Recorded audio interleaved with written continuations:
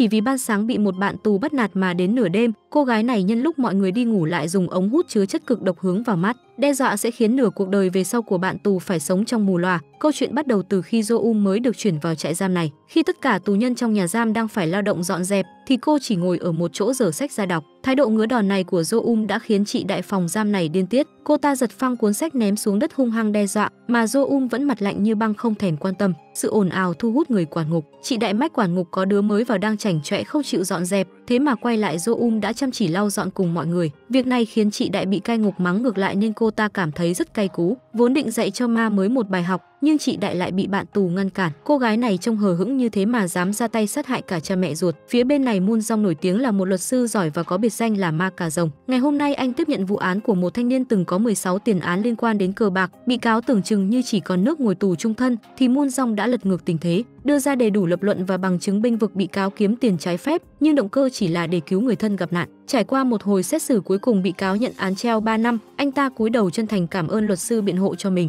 Thành công của vụ án đã đưa tên tuổi Moon Jong lên một tầm cao mới, biết bao phóng viên nhà báo muốn phỏng vấn ghi hình nhưng đều bị anh từ chối. Moon Jong trước khi trở nên lạnh lùng lý trí như ngày hôm nay thì cũng đã phải trải qua cả một tuổi trẻ nông nổi. Như bao luật sư khác mới vào nghề, Moon Jong luôn hiếu thắng trong mọi phiên tòa, nhưng anh còn mắc phải chứng bệnh về tâm lý do đồng cảm quá mức. Để có thể tiếp tục cống hiến cho công việc này, Moon Jong phải chấp nhận tiếp nhận điều trị tâm lý. Phía bên này, chị Đại vẫn chưa có ý định tha cho Jo Um. Giờ ăn cơm chị Đại hất cả suất cơm của cô, xả thêm một trận mắng nhiếc dạy đời đàn em và còn liên tục dí vào đầu cô. Thế mà Jo Um vẫn không có phản ứng gì, chỉ lặng lặng đứng dậy đi rửa sạch tay bị dính bẩn. Sự thật về thân thế của Jo Um được vén màn khi bản tin thời sự được phát sóng. Vụ án phóng hỏa giết người xôn xao dư luận 10 năm trước tại thành phố Gươm xong, tới giờ mới bắt được hung thủ thực sự. Điều này có nghĩa người được cho là hung thủ đang trong tù đã bị đổ oan. Không ai khác chính là nữ chính Jo Um. Vừa hay Moon Jong lại là luật sư biện hộ cho Jo Um vào các phiên xét xử năm xưa. Nghe được tin tức trên truyền hình, biết thân chủ cũ đã được minh oan, như lòng Moon Jong cứ chịu nặng vì sự ái nháy, vô tình đã đẩy một người phải ngồi tù oan suốt 10 năm trời. Cảm giác thất vọng ấy khiến Moon Jong phải dùng thuốc liên tục để ổn định tâm trạng. Bác sĩ điều trị cực kỳ phản đối và khuyên anh nên tập trung chữa trị cho bản thân thay vì suy nghĩ quá nhiều về những việc khác. Vụ án phóng hỏa giết người được khơi lại. Công ty luật của Moon Jong chịu trách nhiệm biện hộ cho hung thủ và tất nhiên không có ai lại muốn giúp một tên điên loạn dã man như vậy. Thế cho nên Moon Jong đã quyết định đứng ra tiếp nhận vụ này. Anh đến trại giam gặp trực tiếp hung thủ để yêu cầu hắn tường trình. Tên sát nhân sau khi sát hại nạn nhân đã mượn tay con gái của họ để phóng hỏa. Hắn nói muốn cho cô gái có cơ hội tự tay làm lễ hỏa thiêu cho cha mẹ mình. Cũng vì lẽ đó mà Jo Ung vô hình trung biến thành hung thủ và bị tống vào tù suốt nhiều năm dài. Moon Jong đến tìm công tố viên để hỏi hung thủ sẽ phải đi tù bao nhiêu năm. Vị công tố nhìn vào ánh mắt cũng đủ hiểu Moon Jong là đang muốn tuyên án tử cho hắn luôn nếu được. Công tố này ít nhiều đã nghe về tai tiếng của Moon Jong đi kèm với căn bệnh về tâm lý của anh. Anh ta khuyên Moon Jong nên biết lượng sức mình và công tư phân minh trong vụ này. Tối đến Moon Jong ngồi nghiên cứu bản tái hiện hiện trường vụ án, cứ nghĩ đến sự ung dung của tên xúc sinh kia và sự tuyệt vọng của cô gái năm ấy mà càng phẫn nộ. Moon Jong quyết định tung đoạn ghi âm đối thoại cho giới truyền thông, khiến người dân cả nước phẫn nộ. Hành động này của Moon Jong khiến các đồng nghiệp cảm thấy lo lắng vì sẽ ảnh hưởng rất nhiều đến sự nghiệp của anh sau này. Phía bên này Jo um cũng nghe được tin tức, cô chỉ cảm thấy vị luật sư này điên thật rồi, vì năm xưa Jo um thừa nhận tội trước sức ép của dư luận và cảnh sát, cho nên khi cô ra tù vẫn phải chịu án treo. Ngày ra tù Jo um được Moon Jong gửi cho một bộ đồ mới và đứng chờ ở ngoài cổng, chỉ để nói lời chúc mừng cô đã được minh oan, rồi lạnh nhạt rời đi. Cả một thập kỷ sống trong ngục tù, nên thế giới bên ngoài đối với Jo cái gì cũng xa lạ. Cô kịp ghé cửa hàng ăn một tô mì nóng sốt cùng bánh gạo cay trước khi đến gặp Moon Jong. Thấy cô có vẻ lạnh nên Moon Jong chủ động nhường cô áo khoác của mình. Không những thế, anh còn gọi hẳn ba cốc nước vì không biết Jo Um thích vị nào. Chỉ bấy nhiêu hành động đã khiến Jo Um vô cảm bấy lâu nay, cũng phải rơi nước mắt vì cảm động. Đã lâu lắm rồi chưa có ai ấm áp quan tâm cô như vậy. Nan chính ga lăng đi lấy giấy cho cô lau nước mắt nhưng khi quay lại thì phát hiện, cô gái vừa mới khóc vì cảm động ban nãy lại đang rung chân thích thú. Jo Um chính là đang đóng kịch để lợi dụng lòng thương của Moon Jong. Những người rối loạn nhân cách như vậy luôn nhắm đến những người tốt bụng để lợi dụng đạt được mục đích. Moon Jong lại càng tò mò mục đích thực sự của cô gái này. Anh lên một kế hoạch chi tiết để tìm hiểu con người thật của cô. Một người Người quen của Jo xác minh cô thực sự có vấn đề về nhân cách. Ngày đầu tiên vào tù, việc đầu tiên cô ta làm là để lại vết dao trên cổ viên cai ngục chỉ vì bị nhắc khéo. Moon Jong tiếp tục tìm gặp những người cai ngục phụ trách. Họ cũng xác nhận Jo Um trông thì hiền lành nhưng lại không phải dạng người dễ đụng vào. Đến chị đại trong tù cũng bị cô dùng ống hút có chất độc cảnh cáo vì dám xé nát quyển sách cô đang đọc dở. Nếu không muốn thành phế vật thì phải ngoan. Chị đại sợ đến không dám thở mạnh chỉ biết cầu xin tha mạng. Những tù nhân khác biết chuyện nhưng không dám mở mắt hay ho he gì vì kinh hãi. Jo Um quyết định tha mạng cho bà ta. Cô vứt ống hút độc và nằm xuống với ánh mắt lạnh như băng. Mãi về sau quản ngục mới phát hiện ống hút hút đó chỉ chứa nước lã bình thường, Jo um chẳng qua là lợi dụng tâm lý sợ hãi của đối phương để dọa dẫm. Trò thao túng tâm lý kiểu này đúng là cả đời đi làm các quản ngục cũng chưa được gặp bao giờ. Ông ta cho rằng có khi Jo um chính là hung thủ đã giết cha mẹ mình thật, vì một người chỉ số thông minh cao ngất ngưởng như vậy có đời nào lại chịu ngồi tù oan suốt 10 năm. Vì vẫn phải chịu án treo nên Jo um phải chịu sự quản chế của cảnh sát Joan. Anh đọc hồ sơ và hẹn gặp lại vào lúc 8 giờ tối tại phòng trọ của cô. Mới ra tù đang chưa có công ăn việc làm nhưng lại có tài năng thao túng tâm lý người khác, nên Jo mạo danh cảnh sát để gây áp lực cho chủ cửa hàng đồ hiệu, khiến ông ta đã rén mà đem hết cả sổ sách quan trọng dâng cho cô xem bằng trí nhớ siêu phàm. Jo ghi chép lại những chi tiết quan trọng rồi tiếp tục hành nghề lừa đảo ở các cửa hàng đồ hiệu xa xỉ khác. Chỉ trong một buổi sáng cô đã thu được cả đống đồ hiệu rồi đi vào nhà vệ sinh công cộng thay đồ. Khi bước trở ra đã biến thành một quý cô sang chảnh, địa điểm tiếp theo là sòng bài. Do U ngồi cạnh một đôi vợ chồng, cô liền trổ tài đọc chính xác từng câu từng chữ như bà bói, làm cho hai vợ chồng nhà này vui như bắt được vàng mời cô làm tư vấn riêng. Khi ngồi vào bàn, Do Um đã sử dụng IQ siêu phàm để tính toán xác suất nên chưa từng biết thua là gì. Sự nổi trội vượt bậc đã khiến ông chủ sòng bài phải cho người đến và mời cô vào phòng riêng để trao đổi. Họ quy đổi cả một vali tiền mặt và mong Do Um có thể dừng cuộc vui ngày hôm nay tại đây. Cô ung dung cầm tiền trở về và đem những món đồ lấy được cho người shipper, giao trả lại chủ cũ rồi bắt taxi trở về phòng trọ. Quản chế Joan đã đứng đợi sẵn. Anh ngạc nhiên vì mới ra tù có một ngày mà Jo Um đã có tiền tiêu thoải mái. Joan muốn kiểm tra túi đồ của cô nhưng cô không đồng ý. Anh chỉ vừa mới giật được cái túi thì Moon Jong đã xuất hiện và yêu cầu Joan không được xâm phạm cá nhân cho dù có là quản giáo đi chăng nữa. Joan nhắc nhở luật sư vừa có nhiệm vụ bảo vệ thân chủ, vừa có nhiệm vụ giáo dục tư tưởng cho người đang chịu án treo. Anh trao trả lại cái túi cho Moon Jong rồi ra về. Joan chỉ vừa mới đi khuất thì Moon Jong trực tiếp kéo khóa mở túi và bất ngờ chưa, tiền nhiều đến nỗi tràn hết cả ra đường. Moon Jong sững sờ với số tiền mà cô đang có, nhưng hỏi thì Jo Um chỉ trả lời, tiền này do cô lao động hợp pháp kiếm được, dù sao thì luật sư cũng nên có niềm tin với thân chủ của mình.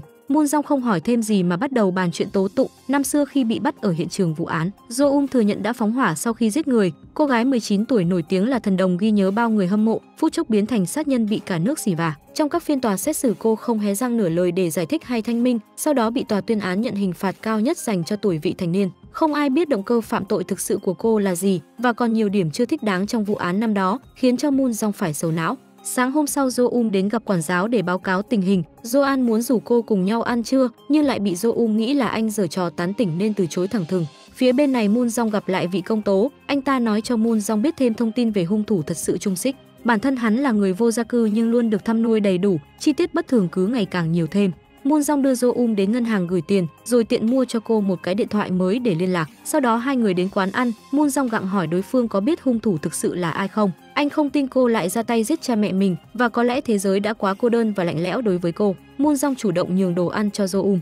Hành động quan tâm lại một lần nữa khiến Jo Um lặng cả người. Mới sáng sớm ngày ra mà Joan đã xuất hiện đột ngột và đòi đưa Jo Um đi mua điện thoại mới. Thấy cô đã có điện thoại, anh khẩn trương đọc số. Jo Um cũng nhanh chóng lưu số của anh ta rồi chán ghét bỏ đi. Cô gọi điện cho một người bạn từng chung trại giam tên là Da Dung. Cô gái này sở hữu một phòng bí mật đầy đủ các thiết bị và kỹ năng đi kèm không khác nào siêu hacker. Chỉ một vài thao tác đơn giản bằng cách ngụy trang ứng dụng quản chế cần cập nhật. Joan đã lọt lưới khi bấm vào đường link. Từ nay toàn bộ thông tin cá nhân định vị của anh sẽ nằm trong lòng bàn tay của hai cô gái này. Ở một diễn biến khác, vị công tố tiếp tục gặp Moon Jong và cho anh một thông tin hữu ích rằng Jo Um đã dừng theo học và tham gia vào quỹ mắt đỏ của trường thay thế. Quỹ này lập ra để chiêu mộ những nhân tài và Jo Um đã lấy được học bổng toàn phần của quỹ. Tối đó Moon Jong tìm hiểu thông tin về quỹ mắt đỏ và phát hiện nhà báo Jong Ki từng xin phỏng vấn anh cũng đã từng viết bài về quỹ này. Sau đó Moon Jong đến nhà trọ tìm Jo Um rủ cô cùng đi dạo rồi ăn đêm. Nam chính hỏi nữ chính lại một lần nữa cô có giết người hay không, nhưng cô khẳng định mình không làm. Moon Jong thực sự muốn biết lý do thực sự là gì, điều gì đã khiến một cô gái mới lớn từ bỏ cuộc sống và gánh vác tội trạng kinh khủng ấy. Jo Um không muốn trả lời nên cô đã đổi chủ đề, hỏi về chứng bệnh đồng cảm quá mức của anh. Vào giây phút chứng kiến nỗi đau buồn của người khác, anh sẽ cùng cảm nhận nỗi đau với họ một cách quá mức. Thực ra Jo Um đã biết rõ chứng bệnh này cho nên mới chọn Moon Jong làm luật sư biện hộ, vì cô biết anh sẽ luôn đứng về phe của cô đến giây phút cuối cùng. Jo Um không ngờ người đàn ông này lại có thể nhìn thấu được suy nghĩ của mình nhưng cô vẫn chọn tin tưởng anh. Sáng hôm sau đúng 6 giờ 30 phút cô tỉnh dậy tập thể dục một lúc rồi lên đồ. Đóng giả làm một tư vấn viên nổi tiếng đến viện dưỡng lão tìm gặp giáo sư Lee Jun Ho. Như thường lệ Jo Um vẫn dùng chiêu thao túng tâm lý từ cấp dưới đến cấp trên, gây áp lực buộc họ nể sợ mà đồng ý ra giao lại thẻ ra vào cho cô. Chỉ thấy Jo Um bước vào một căn phòng, lúc đi ra đã trong hình tượng một cô y tá thực thụ, nhập vai ngồi vào bàn làm việc tra cứu thông tin, sau đó đến chỗ kết sắt nhập mật mã để lấy đi loại thuốc nguy cơ cao. Trong khi đó Moon Jong đến tìm gặp Trung Dích để làm một phép toán, số tiền bồi thường phải trả cho người ngồi tù oan suốt 10 năm theo luật sẽ rơi vào trên dưới vài tỷ. Nếu kháng cáo không thành công thì bản án dự tính dành cho hung thủ thực sự sẽ là 30 năm, mà nếu tính theo tuổi thọ trung bình của người Hàn thì Trung Sích chỉ còn khoảng 25 năm bóc lịch là hết đời, và lại người chu cấp tiền cũng có thể ngừng chu cấp bất cứ lúc nào. Viễn cảnh phải sống nốt quãng đời còn lại với bốn bức tường hoàn toàn có thể xảy ra nếu Trung Sích không chịu kháng cáo và khai ra người đứng đằng sau mọi việc. Sau khi từ trại giam trở về, Moon Jong sâu chuỗi các tình tiết thì càng cảm thấy có điều gì đó không ổn, nhất là ý tứ của Trung xích rằng kiểu gì cô ta cũng giết hết, lời đó có thể là dành cho Jo Um. Anh liên lạc nhưng Jo Um đều tắt máy. Moon Jong gọi cho cả quản giáo Jo An nhưng anh ta cũng nói không liên lạc được với cô. Moon Jong có được thông tin vào viện dưỡng lão nơi giáo sư Jun Ho đang điều trị và trực tiếp đến xác nhận rằng Jo Um có xuất hiện ở đây. Đúng lúc này chuông cảnh báo của bệnh viện vang lên. Moon Jong vội vàng chạy đến phòng bệnh của giáo sư. Lúc này Jo Um đã gặp lại kẻ hại đời mình. Cô tháo ống thở và soi dấu vân tay để mở khóa điện thoại. Phát hiện cha này nằm liệt giường ở đây mà vẫn có khả năng chu cấp cho tên trung xích trong tù, thì chắc là còn nhiều tình nghĩa lắm. Jo um đang định tiêm cho ông ta một liều an thần vĩnh viễn thì Moon Jong xông vào. Anh đã cố thuyết phục cô dừng lại nhưng không được. Moon Jong đành phải lao đến khống chế cô gái. Sau đó cả hai rời đi. Moon Jong có thể khẳng định Jo um đã biết rõ lý do tên trung xích giết cha mẹ mình, cho nên mới dừng dưng không quan tâm như vậy. Anh suy đoán đã có chuyện gì xảy ra ở quỹ mắt đỏ mới khiến Jo um biến thành người như thế này. Jo lạnh mặt khẳng định bản chất con người mình là như thế chứ không phải do quỹ nào cả. Anh bây giờ đã trở thành đồng phạm với tôi cho nên hãy biết điều mà lo liệu làm tốt việc của mình, đừng lúc nào cũng tọc mạch chuyện khác nữa. Jo Um tìm đến tận nhà quản giáo Jo An khiến anh ta vô cùng ngạc nhiên. Cô dành tặng Jo An một món quà nữa còn khiến anh ngạc nhiên hơn gấp bội, chính là những tấm ảnh ghi lại cảnh bao che của vị quản giáo này với một công dân mới ra tù khác đang thực hiện hành vi trộm cắp. Jo An hỏi rốt cuộc cô muốn gì, nhưng Jo Um chỉ nói anh đừng làm phiền hay tìm cách giám sát tôi nữa là được. Hôm sau là ngày đầu tiên cả thân chủ và luật sư bảo chữa lên hầu tòa. Muôn Dong tuyên bố không yêu cầu bồi thường thiệt hại 10 năm ngồi tù oan của thân chủ, mà chỉ mong tòa án rời lịch vì hung thủ Trung Sích vẫn đang trong thời gian kháng cáo. Điều này tức là Jo Um vẫn chưa thể minh oan thực sự và phiên tòa này chưa thể giải quyết được vấn đề gì. Hành động này của vị luật sư khiến cả phiên tòa sững sờ vì độ chất chơi, đến cả Jo Um cũng không nhịn được bật cười vì cảm thấy bị phản bội. Đêm hôm đó Moon Jong còn gọi điện cho Jo Um để khẳng định sẽ tìm ra điều mà cô luôn giấu kín. Anh mong muốn có thể dạy cho Jo Um cách đồng cảm và thay đổi con người cô. Jo Um chẳng buồn quan tâm mà thông báo sa thải luật sư biện hộ. Sau đó cô nhận được một dòng tin nhắn từ số máy lạ với nội dung, chào mừng, đã quay trở lại. Sáng hôm sau Jo Um đi lao động công ích thì lại bị Jo An đến làm phiền. Cô bực bội đuổi anh đi thì vô tình phát hiện có người đang lén lút chụp hình mình. Ngay sau đó, tên này vừa đi từ nhà vệ sinh ra đã bị đẩy cho ngã ngửa và bị cướp luôn chiếc điện thoại. Bên này Moon Jong bị giám đốc công ty khiển trách vì dám từ chối số tiền bồi thường khổng lồ chỉ vì dạy gái. Thế mà anh còn chẳng thèm giải trình mà tự ý ra ngoài nghe điện thoại riêng là Joan gọi Moon Jong đến giải quyết ồn ào của thân chủ anh đang chấn lột điện thoại người khác. Cuối cùng cả hai bị bế lên đồn cảnh sát. Tên chụp lén chỉ báo mình bị hành hung chứ không nhắc đến chuyện bị chấn lột. Trong khi đó Jo Um chỉ nhận tội chấn lột chứ không nhận tội hành hung. Đến cả cảnh sát lẫn luật sư cũng phải bó tay với kiểu báo án như này. Cuối cùng thanh niên kia vì không muốn lộ chuyện chụp lén nên quyết định không ăn vạ nữa. Nhưng khi ra đến bên ngoài, hắn lại gây gổ đòi trả lại điện thoại. Jo Um chỉ ném lại tấm danh thiếp nói sẽ trả lại sau. Moon Jong biết rõ cô đã giấu chiếc điện thoại ở nhà vệ sinh công cộng, nên lái xe đưa cô đến lấy lại điện thoại. Thì ra thanh niên kia chuyên đi quay lén con gái nhà lành để bán trên các web đen kiếm lời. Do Um cho Moon Jong toàn quyền quyết định vụ này kể cả là giao cho cảnh sát nếu muốn. Nhưng Moon Jong đã không làm vậy vì không muốn thân chủ dính líu thêm tội trộm cắp. Cô thông báo đã cài được mã độc vào điện thoại của hắn và dự đoán cũng sẽ sớm có được toàn bộ dữ liệu mật của bọn biến thái này khi chúng kết nối các thiết bị với nhau. Moon Jong lên án kế hoạch dùng cái ác diệt cái ác của nữ chính nhưng cô chẳng quan tâm. Thế nên Moon Jong đã mời tên biến thái đến làm việc. Trước khi vào việc anh còn không quên đặt máy ghi âm. Sau đó thông báo vụ việc không phải là ăn cướp mà chỉ là nhặt được tài sản thất lạc khiến tên này phát rồ. Moon Jong cho tên này một cơ hội quay đầu mà hắn còn không biết điều, hỏi Moon Jong có thích đoạn clip nào không thì sẽ giảm giá cho. Sự điên rồ này đã khiến nam chính quyết định gọi cảnh sát để tố cáo. Bên này Jo Um tiếp tục nhận được tin nhắn kỳ lạ từ số máy không có thật. Có lần còn nhận được một hộp quà màu đỏ, bên trong là bức ảnh bị xóa mặt của cha mẹ cô. Lúc Jo Um vừa từ phòng trọ đi ra thì Moon Jong đã dùng cốc cà phê để nhờ và cô giới thiệu một hacker uy tín có thể xóa được toàn bộ dữ liệu của tên biến thái và cả danh tính các nạn nhân. Da Dung là bạn cùng trại giam với Jo Um biết Jo Um trước nay luôn cô độc, nên Da Dung rất ngạc nhiên khi thấy Moon Jong quan tâm tới cô ấy như vậy. Da Dung hoàn thành nhiệm vụ chỉ trong một buổi tối rồi gọi điện thông báo cho Moon Jong, ngay khi vừa cúp máy chuông cửa nhà nam chính vang lên. Jo Um xuất hiện dí cho anh một khoản tiền và thông báo ống nước nhà trọ của cô bị vỡ nên cần chỗ ở nhờ. Moon Jong không nhận tiền nhưng vẫn đồng ý cho cô ở nhờ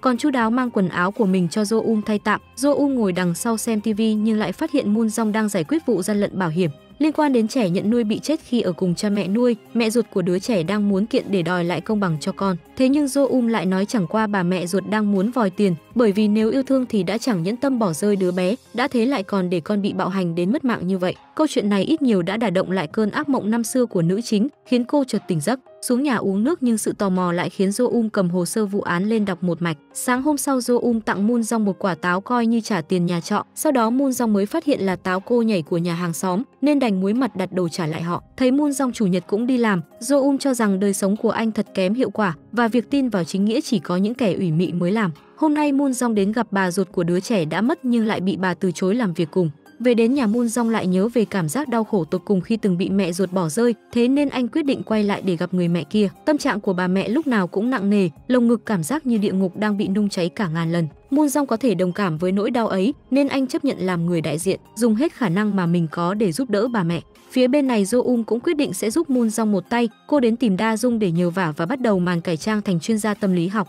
Để tiếp cận người mẹ nuôi và khen cậu con trai ruột của bà ta có tố chất thần đồng, Jo Um chủ động muốn kết nối để có thể khiến con trai của họ tỏa sáng. Được một chuyên gia tâm lý học hàng đầu để mắt tới, nên cặp cha mẹ nuôi hết sức nhiệt tình tiếp đãi. Jo Um đề nghị làm đúng quy trình là phải thực hiện buổi trị liệu tâm lý riêng với mỗi thành viên trong gia đình để thấu hiểu và đưa ra phương pháp hợp lý. Trong khi Moon Jong còn đang đầu tắp mặt tối lo liệu cho vụ kiện của bà mẹ ruột thì nhận được tin nhắn với nội dung từ biệt. Linh cảm không lành nên anh vội vàng chạy đến. Kết quả bà mẹ đã viết sẵn thư tuyệt mệnh và chuẩn bị treo cổ tự vẫn. Moon Jong hứa sẽ tìm mọi cách để tái điều tra đòi lại công bằng cho đứa trẻ. Chứng kiến người mẹ đau đến chết đi sống lại vì thương nhớ con, mà chứng đồng cảm quá mức của Moon Jong cũng tái phát khiến anh ngất xỉu. Vừa hay lúc ấy Joan gọi điện đến nên mới kịp thời phát hiện và đưa Moon Jong đến bệnh viện. Anh ta nhất quyết bám dính lấy Moon Jong không thôi theo về đến tận cửa nhà không tha. Lúc Moon Jong vào nhà còn bất ngờ hơn vì đã thấy Jo Um ngồi trên một đống tiền bảo hiểm. Số tiền này Jo Um cũng không chối là kiếm được từ việc lừa đảo. Bên ngoài Jo An đang gõ cửa ầm ầm nên cả hai phải mau chóng giấu hết tiền đi. Moon Jong còn giấu luôn cả Jo Um vào trong phòng rồi mới ra mở cửa cho Jo An.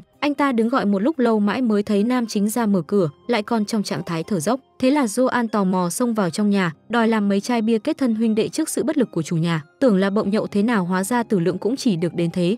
Joan uống say đến nỗi nói nhảm, lấy bim bim làm khuyên tay rồi còn đòi cởi cả quần ra. Moon Jong cũng nhiệt tình tụt quần bạn nhậu, đến sáng hôm sau nhìn lại bộ dạng của mình Joan muối mặt vì xấu hổ. Đã thế còn bị nữ chính vừa ăn dâu vừa phán xét mới cay chứ. Joan biết chuyện nữ chính đến đây ở nhờ nên cố tình đòi Moon Jong đi tiễn mình để có thể nói chuyện riêng. Anh nhắc nhở nam chính nên làm tròn bổn phận của mình ở mức vừa đủ, vì dù sao mối quan hệ giữa ba người bọn họ cũng chỉ ở mức hai chiều. Anh ta cảm ơn chủ nhà đã tạo điều kiện để ăn nhậu say sưa rồi rời đi. Moon Jong trở về thì thấy thùng dâu tây của nhà hàng xóm lại mất một hộp, không cần nói cũng biết là ai lấy. Với đống tiền lừa đảo chiếm được Moon Jong đề nghị Jo Um tường thuật lại chiêu trò. Bước đầu tiên săn mồi là phải lấy được lòng tin của đối tượng. Nữ chính tẩy não hai đối tượng bằng cách đưa ra bằng chứng về chỉ số thông minh của con trai họ cao ngang nhà bác học. Tiếp đó cô yêu cầu họ đem đến cuốn sách khó nhất và đọc trúng phốc nội dung chính, mặc dù chỉ mới xem qua một lượt, khiến cha mẹ nuôi tâm phục khẩu phục.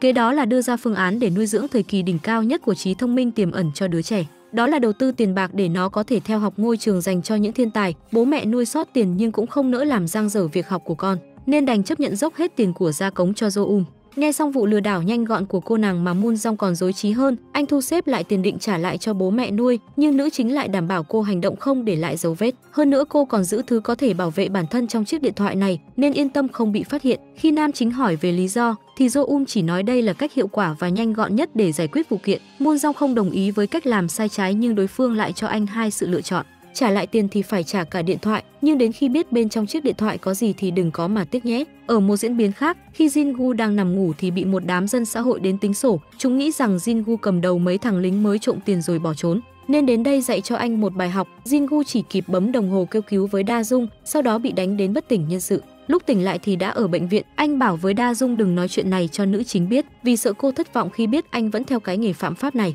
Ngay hôm sau nữ chính đã đến tìm Da Dung để hỏi về tình hình của cậu bạn. Mặc dù biết anh bị đánh đến nhập viện nhưng Jo Um vẫn không có ý định vào thăm, vì với cô bọn họ cũng chỉ là mối quan hệ lợi dụng nhau để sống. Lúc Da Dung vào viện đã không thấy Jin Gu đâu hết, đồ đạc vung vãi cả chiếc đồng hồ có định vị cũng bị vứt dưới đất.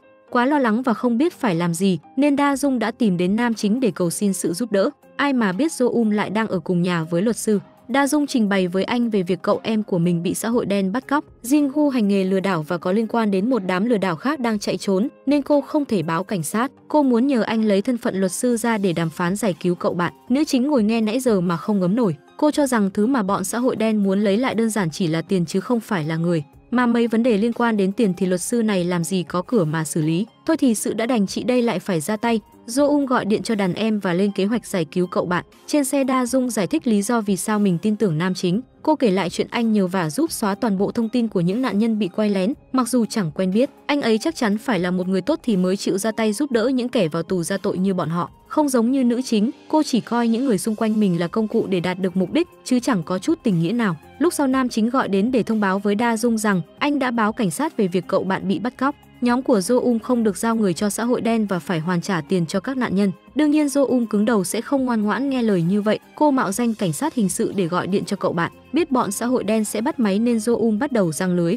Cô thông báo cảnh sát đã lấy lại được 50 triệu tiền lừa đảo để trả lại cho cậu bạn, yêu cầu anh cung cấp số tài khoản để hoàn trả và tất nhiên bọn này không từ chối cơ hội lấy lại tiền. Chúng giả là anh em thân thiết của cậu bạn và đọc số tài khoản của mình với tư cách là người ủy quyền. Hắn cung cấp thêm cả tên tuổi và số điện thoại theo đúng yêu cầu của cảnh sát, nhưng thủ tục bắt buộc vẫn phải cần chữ ký của cậu bạn. Bọn xã hội đen chấp nhận để cảnh sát đưa cậu bạn về đồn làm thủ tục mà không hề hay biết mình đã bị lừa. Sau khi xác nhận cậu bạn lên xe rời đi an toàn, Jo Um kêu Da Dung thực hiện giao dịch ảo tới số tài khoản tên cầm đầu cung cấp, sau đó lại biến thành là công tố viên để thông báo tài khoản ngân hàng của hắn đã bị cài mã độc, tiền sẽ bị trừ dần đến khi nào hết thì thôi. Kiểm tra lại tên cầm đầu thấy đúng như những gì cô nói nên rất hoang mang, hắn nhờ cô tư vấn phương án giải quyết. Jo Um yêu cầu phải chuyển hết số tiền còn lại sang số tài khoản được văn phòng công tố quản lý. Tên này trong lúc bối rối liền làm theo không chút nghi ngờ, thậm chí còn chụp cả chứng minh nhân dân gửi cho cô. Đến lúc tiền mất thì mới biết là mang tật rồi. Toàn bộ số tiền lấy lại đã được nữ chính tiến hành trả lại cho các nạn nhân bị lừa. Vậy là phi vụ giải cứu con tin và các nạn nhân đã hoàn thành trong êm đẹp. Về sau Moon Jong ở trước đồn cảnh sát mở chiếc điện thoại lên và xem được cảnh cả gia đình cha mẹ nuôi,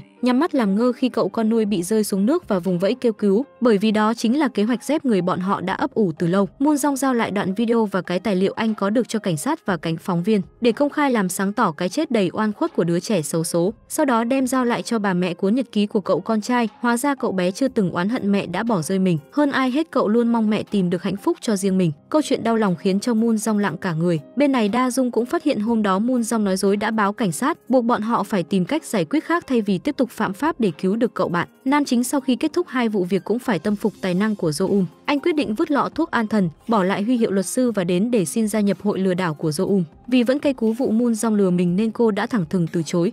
Nam chính khẳng định kiểu gì cũng có lúc cô phải cần đến anh. Vì người duy nhất biết được chân tướng sự việc mà vẫn đứng về phía cô thì chỉ có một mình tôi. Lúc trước Moon Jong đã từng đến bệnh viện thăm cậu bạn, cậu bạn thắc mắc tại sao vị luật sư có danh tiếng như này mà lại chịu giúp đỡ loại người như bọn họ. Nam chính chỉ đáp lại rằng anh quan tâm mọi người, cậu bạn cho phép Moon Jong hỏi đúng ba câu hỏi coi như nể tình đã giúp mình. Thắc mắc đầu tiên của Moon Jong là về mối quan hệ giữa ba nhân vật này, hóa ra cậu bạn là em út và cũng là đứa trẻ mắt đỏ chính thức cuối cùng bên cạnh nữ chính cùng với Da Dung và một nhân vật khác tên là Nasa. Khi Jo Um đến dự đám tang của giáo sư xin giám đốc quỹ mắt đỏ, Jo Um dừng dưng ném lại một bông hồng đỏ rồi quay người rời đi. Thư ký của giáo sư xin xuất hiện và đưa cho Jo Um một tập hồ sơ. Ông ta nói giáo sư đã trả nợ cho cô bằng những thứ có trong tập hồ sơ này. Jo Um lên một kế hoạch lừa đảo mới và giao nhiệm vụ cho cậu bạn đi tìm lại Nasa. Người anh em này còn đang mải ngồi trên bàn cờ đắm chìm vào kiếp đỏ đen, gặp lại đồng minh cũ mà NASA cũng chẳng buồn quan tâm. Giờ anh ta chỉ muốn có tiền để được chơi bạc tiếp. Thế rồi cậu bạn ném ra một tờ danh thiếp của luật sư Moon Jong và thông báo Jo Um cũng đã ra tù mới có thể thuận lợi khiến NASA nghe lời. Jingu đưa NASA đến gặp Moon Jong để nhờ anh đuổi bớt mấy tên xã hội đen đang đến đòi nợ. Nhưng NASA lại phát hiện không có tên nào ở đây hết chỉ có Jo Um đã ngồi chờ sẵn bên trong. Chính cô đã đuổi hết bọn cho vay nặng lãi và đề nghị NASA cho mượn tạm căn cứ mật dưới hầm để hành động. Đối tượng được nhắm đến là Park Jun-gu, kẻ đang điều hành một công ty xử lý đồ phế thải cùng vợ. Đánh bạc quấy rối tình dục hành hung không có tội trạng nào mà hắn ta chưa dính vào. Theo kế hoạch Jo Um và cậu bạn sẽ dụ con mồi đến. NASA thì ở đây dựng tạm một ngôi nhà có bộ thu phát tín hiệu và máy quay để tiện theo dõi. Da Dung phụ trách tạo ra cảnh giả cho Jo Um và Jingu. Moon Jong thắc mắc tại sao con mồi là Park Jun-gu thì Jo Um trả lời vì ông ta nhiều tiền, còn cô thì cần tiền. Moon Jong vạch trần kế hoạch này của Jo Um chính là để trả thù quỹ mắt đỏ chứ không phải chỉ vì tiền. Điều này khiến các thành viên khác phải sững sờ mà cười trừ. Jo Um không giải đáp nhiều thắc mắc của nam chính nữa. Cô tiếp tục triển khai kế hoạch thành lập 3 nhóm, mỗi nhóm gồm 4 người và còn phải cài thêm các diễn viên quần chúng. Họ sẽ dùng tiền thu được từ bảo hiểm của Park Jun Gu để làm chứng cứ cáo buộc Moon Jong trở thành đồng phạm. Chấp nhận là một phần của hội nhóm lừa đảo, nhưng Moon Jong nhất quyết không cho Jo Um sử dụng số tiền bảo hiểm lấy được, vì cha mẹ nuôi dù đã vào tù, nhưng vẫn trông chờ nữ chính sẽ đưa con trai họ đi du học. Anh lo lắng nếu chuyện này phát giác thì thân chủ của mình sẽ bị kiện ra tòa, nên Moon Jong không cho phép Jo Um động đến tiền bảo hiểm và đảm bảo sẽ thu xếp tiền đến ngày hành động. Sáng sớm Jo Um có bị Jo An đến làm phiền nhưng cô chẳng thèm bận tâm, cứ thế trở về sửa soạn một tâm hồn đẹp và một bộ đồ cực sang chảnh để bắt đầu hành động. Dưới bàn tay ma thuật của Da Dung thì nữ chính đã biến thành tiểu thư nhà tài phiệt của công ty thực phẩm. Cô đến công ty của Bác Jun Gu và yêu cầu được gặp trực tiếp tổng giám đốc chứ không thèm tiếp chuyện với quản lý quèn. Bác Jun Gu là tên háo sắc gặp chúng nhân vật cao tay trong bộ môn đỏng đảnh. Jo Um chỉ cần đong đưa mấy câu nghe bùi tai là đã khiến ông ta khoái chí cười tít cả mắt. Jo Um tiếp tục dẫn dắt con mồi nổi máu cờ bạc đỏ đen và liên tục xuất hiện để tạo sự tin cậy. Bên này Moon Jong cũng tập tành bài bạc để hòa mình vào cuộc sống của băng đảng lừa đảo thực thụ, nhưng có vẻ ông anh này cũng thuộc vào hàng có số có má. Chơi mà khiến bạn bạc phải há hốc mồm hết lần này đến lần khác. Vừa mới ra khỏi sòng bài thì Jo An gọi rủ đi nhậu. Vì vì đã từng say đến nỗi tụt quần nhau nên hai người cũng thân thiết hơn. Joan hỏi Moon Jong lý do tại sao lại trở thành một luật sư. Anh chân thành kể về quá khứ đen tối, khi công xưởng của cha bị phá sản, bọn cho vay nặng lãi liên tục đến phá phách. Khi ấy có một người đàn ông đã đồng ý đứng ra bảo vệ và làm luật sư cho cha con anh mà chỉ lấy một đồng tiền xu làm công. Vì cảm kích nên Moon Jong cũng chọn con đường trở thành luật sư chân chính đi giúp đỡ những người khác. Sau đó đến lượt Moon Jong hỏi Joan lý do trở thành một quản giáo, thì anh ta lại tìm cách chuồn vội. Phía nữ chính vẫn thuận lợi theo đúng kế hoạch. Lúc vừa từ chỗ con mồi trở về, cậu bạn đã hỏi nữ chính liệu bọn họ có thể có một cuộc sống bình thường sau khi kết thúc việc trả thù quỹ mắt đỏ hay không. Jo nhắm chặt mắt suy tư rồi nói mọi người có thể làm bất cứ điều gì theo mong muốn. Lết tấm thân mệt mỏi về chỗ Đa Dung để cập nhật tình hình rồi mới trở về nhà. Trên đường về Moon Jong xuất hiện và mời Jo cùng đi ăn mì. Anh nói hai người đã từng gặp nhau hồi nhỏ khi tham gia chương trình điều bất ngờ 100. Jo rõ ràng có nhớ nhưng lại tỏ ra đã quên hết sạch chuyện cũ. Cô còn bực bội vì Moon Jong hỏi quá nhiều thứ. Moon Jong nhớ lại hôm trước ở bệnh viện, nghe cậu bạn kể về quỹ mắt đỏ thực chất là một tổ chức dép thuê. Vẻ bề ngoài thì họ cưu mang những đứa trẻ không nơi nương tựa, cho chúng ăn học nhưng thực tế phũ phàng được giấu kín bên dưới tầng hầm tăm tối, nơi đào tạo ra những tội phạm ưu tú tuyệt đối phục tùng mệnh lệnh, chỉ cần làm trái ý chúng là sẽ bị tra tấn tàn khốc đến mất mạng thì thôi. Cũng vì thế mà những đứa trẻ mắt đỏ đều bị bóng ma tâm lý đè nặng, nhẹ thì khó ngủ nặng thì khỏi ngủ luôn vì phải sống trong ác mộng. Nghĩ đến những điều khủng khiếp mà Jo Um đã từng hứng chịu, ánh mắt Moon Jong nhìn cô đã dịu dàng thêm đôi phần. Không lâu sau đó tên Trung Sích nói với Moon Jong hắn muốn công khai sự thật, người đứng đằng sau tất cả mọi chuyện chính là giáo sư Shin Ki Ho. Ông ta là người đã gọi điện ra lệnh cho Trung Sích bắn chết cha mẹ nữ chính và hứa sẽ chu cấp tiền bạc vĩnh viễn để hắn nhận tội đi tù thay ông ta. Nhưng giờ giáo sư Shin đã chết không còn ai chu cấp tiền cho Trung Sích nên hắn muốn lật mặt. Moon Jong tất nhiên sẽ không giúp hắn thoát tội vì dù sao, ngồi tù cũng là sự trừng phạt quá nhẹ nhàng so với hai mạng người bị Trung Sích hại chết. Sau đó anh liên hệ với nhà báo để hỏi về tên chủ tịch của quỹ mắt đỏ thì mới biết hắn đã tự sát từ lâu. Thông qua cậu bạn, Moon Jong mới biết bà Giang Ki, vợ của tên chủ tịch đã tự sát đó giờ đã trở thành lãnh đạo của tập đoàn Levitt. Giang Ki tận hưởng cuộc sống trong ánh hào quang được người người tung hô mà không hề hay biết rằng có một người vẫn đang tập ngắm bắn để trả thù bà. Phía bên này Joan nhờ chuyên gia an ninh thì phát hiện điện thoại bị cài mã độc. Người muốn biết hành tung và nắm thóp của anh thì chỉ có một. NASA dần dụ con mồi mắc bẫy. Bắc Jugu ngồi vào sòng bài thì ban đầu NASA và cộng sự cố tình thả cho hắn thắng. Hòng khơi dậy lòng tham nhưng bắt đầu về sau Bắc Jugu thua ngày càng nhiều. NASA đã vét sạch hết tiền cược của con mồi ở hiện tại, nhưng vẫn chưa làm hài lòng nữ chính. Cô cùng đồng bọn tạm dừng một khoảng thời gian ngắn để chuẩn bị tương tất cho ván bài quyết định. ngay chốt hạ Jo Um cùng đồng bọn cùng bàn bạc với Bắc Jugu và nhanh chóng thu món lợi siêu hời từ con mồi. NASA bỗng phát hiện có người đập cửa bên ngoài nghe như cảnh sát. Vì nhát gan sợ bị tóm nên NASA chỉ đánh động đến mọi người rồi chui vào một góc trốn. Thấy Moon Jong lo lắng nên Jo Um kêu anh chạy lên xem tình hình. Ai ngờ lên đến nơi nam chính mới biết mình bị chơi xỏ. Hóa ra Jo Um là đang thử thách đồng đội mới. Thông qua tai nghe cô khuyên Moon Jong nên đi tự thú rồi ung dung khóa cửa bỏ đi. Bị đẩy vào thế khó nên nam chính đành phải nghĩ cách xử lý. Thấy cảnh sát bên ngoài đã đập cửa ầm ầm nên Moon Jong kêu NASA tắt hết điện. Anh cất hai tai nghe vào vỏ lon rồi căn dặn từ giờ sẽ là luật sư biện hộ cho NASA. Anh ta chỉ cần bình tĩnh và nghe lời là được. Không ngờ người đưa cảnh sát đến lại là Joan, hóa ra anh cũng là quản chế của NASA. Joan rất ngạc nhiên vì sao Moon Jong luôn xuất hiện bên cạnh những người có tiền án. Cảnh sát nhận được tin báo nơi này tổ chức đánh bạc trái phép nên đến kiểm tra. Trước đó Jo Um đã từng gặp vợ của Bắc Jugu để đưa bằng chứng ngoại tình của hắn. Bà ta giải bày bao nhiêu năm chung sống với thằng chồng bất tài bà đã phải cày cuốc như chó, thế mà được bao nhiêu lợi lộc hắn đều hưởng hết. Bà ta đã sớm quen với việc chồng mình làm mấy trò ba lăng nhăng bên ngoài. Do Um thuyết phục người phụ nữ hợp tác với mình để đẩy Bắc Jun Gu vào tù vì tội đánh bạc và biển thủ công quỹ. Sau đó trở về căn cứ của Da Dung và thông báo có cảnh sát xuất hiện nên tạm ngưng kế hoạch. Bên này, cảnh sát kiểm tra một lúc lâu, vẫn không phát hiện ra sòng bài nào ở chỗ của NASA nên cũng đành lui. Thế mà một lúc sau cả đám đàn em được phân công nhiệm vụ đánh bài cùng Bắc Jun Gu lại xuất hiện. Ai cũng ngạc nhiên sau khi biết có thêm nhân vật khác cùng tham gia vào phi vụ này. Người này do Moon Jong cài vào và cũng chính là thân chủ của anh lúc trước. Jo Um cảm thấy sai lầm khi đánh giá thấp một luật sư như Moon Jong. Trận đấu trí này cô đã thua toàn tập. Ngay ngày hôm sau Moon Jong đã chủ động tìm gặp và hỏi lý do nữ chính gài bẫy mình là gì. Cô tiến sát lại gần nhưng còn chưa kịp nói gì đã bị cảnh sát đến đưa đi vì nghi án liên quan tội danh xúi dục giết người, chuyện là đêm qua Trung Sích đã bị sát hại trong tù. Nghi phạm đã thú nhận chỉ làm theo chỉ thị của Jo um. Cô không một lời giải thích cứ thế bị cảnh sát đưa đi. Phía công tố viên cũng kể lại sự tình tên Trung Sích đã bị sát hại dã man như thế nào trong tù. Moon Jong muốn tìm đến Da Dung để hiểu hơn về tình hình. Cô còn đang phải cùng cậu bạn hứng chịu cơn thịnh nộ từ NASA. NASA cay cú muốn từ bỏ sau khi bị nữ chính chơi cho một vố nhục mặt, nhưng cậu bạn lại nói là do tất cả bọn họ đã phản bội cô ấy trước. Da Dung kể cho Moon Jong tên Trung Sích đã từng giao dịch với quỹ mắt đỏ và đề xuất việc chu cấp tiền căn bản ngay từ đầu đã không được chấp nhận. Vì thế sau khi ngừng cung cấp tiền thì tên Trung Sích bị xử lý cũng là điều dễ hiểu. Da Dung kể thêm về chuyện của Jo Um cho Moon Jong nghe. Khoảng 10 năm về trước cha mẹ cô đã quay lại vì ái náy và hết lời để thuyết phục con gái trở về sống với gia đình. Jo Um rơi vào sự lựa chọn khó khăn cũng giống hệt như hiện tại khi cô đang ở đồn cảnh sát. Nữ chính kiên quyết không mở mồm trả lời bất cứ câu hỏi nào,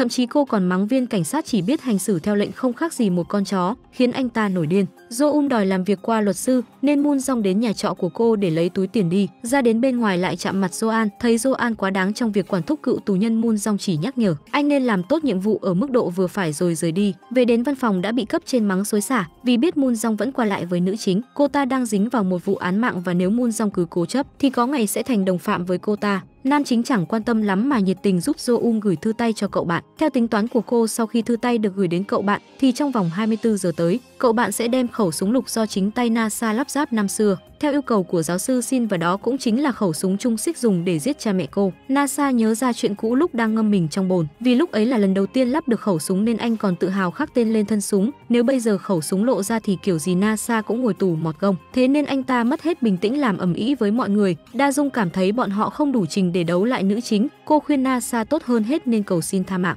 Bên này cậu bạn và một vài cộng sự tiếp tục cải trang làm nhân viên để qua mặt cảnh sát đánh cháo khẩu súng là bằng chứng. Cuối cùng Jo Um và luật sư biện hộ cũng được đối diện với kẻ sát hại Trung Xích. Hắn vẽ tặng Jo Um một chiếc nơ giống hệt như 10 năm trước và cảnh cáo cô hãy tỉnh táo vì bọn họ vẫn luôn dõi theo. Cậu bạn sau khi suy nghĩ thấu đáo cũng nhận thấy Moon jong là người đáng tin, nên quyết định giao cho anh khẩu súng lục và còn tâm sự thêm về chuyện quá khứ. Năm xưa chính Jo Um là người không ngại nguy hiểm cứu mạng cậu bạn khi anh bỏ trốn bị phát hiện. Đó là lý do anh luôn trung thành cho đến khi trả được món nợ cứu mạng ngày đó. Biết lý do cha mẹ Jo Um bị sát hại, bây giờ chính cô cũng trở thành đối thủ của chủ tịch quỹ mắt đỏ, nên Moon Jong thấu hiểu và chân thành muốn dùng toàn tâm toàn ý để giúp cô trả thù. Khi Jo Um vừa mới ra khỏi trại giam, Cô nhớ lại Da Dung đã từng nói Moon Jong chính là con trai của giám đốc năm xưa mà cô đã nhận lệnh làm cho phá sản. Jo Um chấp nhận lời đề nghị của Moon Jong và thề sẽ nhổ hết mọi hạt giống của mắt đỏ trong Hàn Quốc. Việc đầu tiên trong kế hoạch dài hạn ấy là xử lý bà Giang Ki, vợ của cựu giám đốc quỹ mắt đỏ. Trong buổi họp khẩn Moon Jong đã thừa nhận việc phản bội lại thân chủ Trung Sích để đứng về phía của Jo Um. Lần đầu tiên anh nhận ra luật pháp không công bằng với tất cả mọi người. Cậu bạn hoàn thành nhiệm vụ trả lại tiền đánh bạc của Bắc Jun Gu cho vợ của hắn. Bên này, NASA bị Jo Um dằn mặt vì bản tính nô lệ. Cô cho NASA một cơ hội để bỏ cái thói ngu dốt nóng này nếu không muốn gặp lại khẩu súng lục kia. Moon Jong bỏ lỡ đến 3 buổi điều trị vì quá đắm chìm vào kế hoạch lớn. Hôm nay anh đem toàn bộ tiền bảo hiểm đến giao lại cho công tố viên xử lý thật tốt, còn tặng thêm hai nắm cơm làm công khiến công tố bật cười khó xử. Bên này Da Dung biết Jo Um vẫn có ý định lợi dụng Moon Rong, mặc dù biết anh đã từng là nạn nhân năm xưa bị họ hại đời thì vô cùng tức giận. Jo Um lạnh mặt cảnh cáo Da Dung không cần dạy đời người khác, lợi dụng ai cũng được miễn là trả được thù, mạnh mồm thế thôi chứ ra đến ngoài cửa. Jo Um nghĩ về ký ức đau lòng năm xưa mà cũng không tránh khỏi cảm giác tội lỗi. Cô tìm đến nhà Moon Rong và tâm sự về kế hoạch thoát khỏi mắt đỏ 10 năm về trước. Vừa hai lúc đó có kẻ cũng cố gắng lật đổ mắt đỏ chính là giám đốc Dê Hồng. Ông ta về sau đã bị ám sát vì đã ghi chép lại mọi hoạt động bí mật trong suốt 10 năm hoạt động của quỹ mắt đỏ. Vào đêm định mệnh ấy, ông ta đã yêu cầu Jo Um đem theo toàn bộ tài liệu đó cùng mình bỏ trốn. Vợ của ông ta là bà Giang Ki lại nhất quyết không đi cùng chồng vì đang có quan hệ với người đàn ông tên là Dây. Người này có số hiệu là không thuộc thế hệ đầu tiên của mắt đỏ. Vì Jo Um biết bí mật về mối quan hệ giữa hai người họ nên cô có thể dễ dàng yêu cầu bà Ki ung giao lại chiếc túi đen bí mật của chồng để chủ tịch trực tiếp xử lý Chê Hồng. Cũng do tự ý hành động nên Jo đã động đến máu nóng của chủ tịch khiến cả gia đình rơi vào thảm kịch. Suốt 10 năm kể từ ngày xảy ra vụ việc, bà Kyung vẫn sống tốt trong ánh hào quang. Jo đã từng xuất hiện đánh động đến bà ta trong buổi truyền hình trực tiếp và gặp lại dây. Về sau Moon Jong rất tò mò về nhân vật tên Jay nên gọi điện nhờ cậu bạn giải đáp. Cậu bạn nói mối quan hệ giữa Jo Um và Jay vốn rất thân thiết nhưng cuối cùng vẫn không thắng được mối quan hệ tình cảm giữa Jay và Kyung ra. Cha Hong còn cất giữ một cuốn sổ màu đỏ ghi chép toàn bộ đường đi nước bước của chủ tịch, mà ông ta cho rằng bất cứ ai đọc được đều sẽ xuống địa ngục ngay lập tức. Biết được bí mật đó nên Kyung ra mặc kệ cả tính mạng của chồng mình mà bảo toàn cuốn sổ. Kế hoạch tiếp theo của hội lừa đảo là lấy lại cuốn sổ đỏ từ tay bà ta. Được biết Ki Ung Gia đang là hội viên VIP của khách sạn cấp cao nhờ thế mà bà ta có được đặc quyền sử dụng phòng có bảo mật kết sắt đặc biệt. Jo Ung vào vai một kiểm tra viên đến giả soát các khâu vệ sinh của khách sạn, người quản lý đưa ba kiểm tra viên xuống tầng có phòng để kết sắt. Joum yêu cầu phun thử thuốc xem có chuột bọ nào bò ra không. Kết quả khí ga không biết ở đâu cứ thế dò ra thành khói mịt mù. Chiêu này là nhờ công của NASA,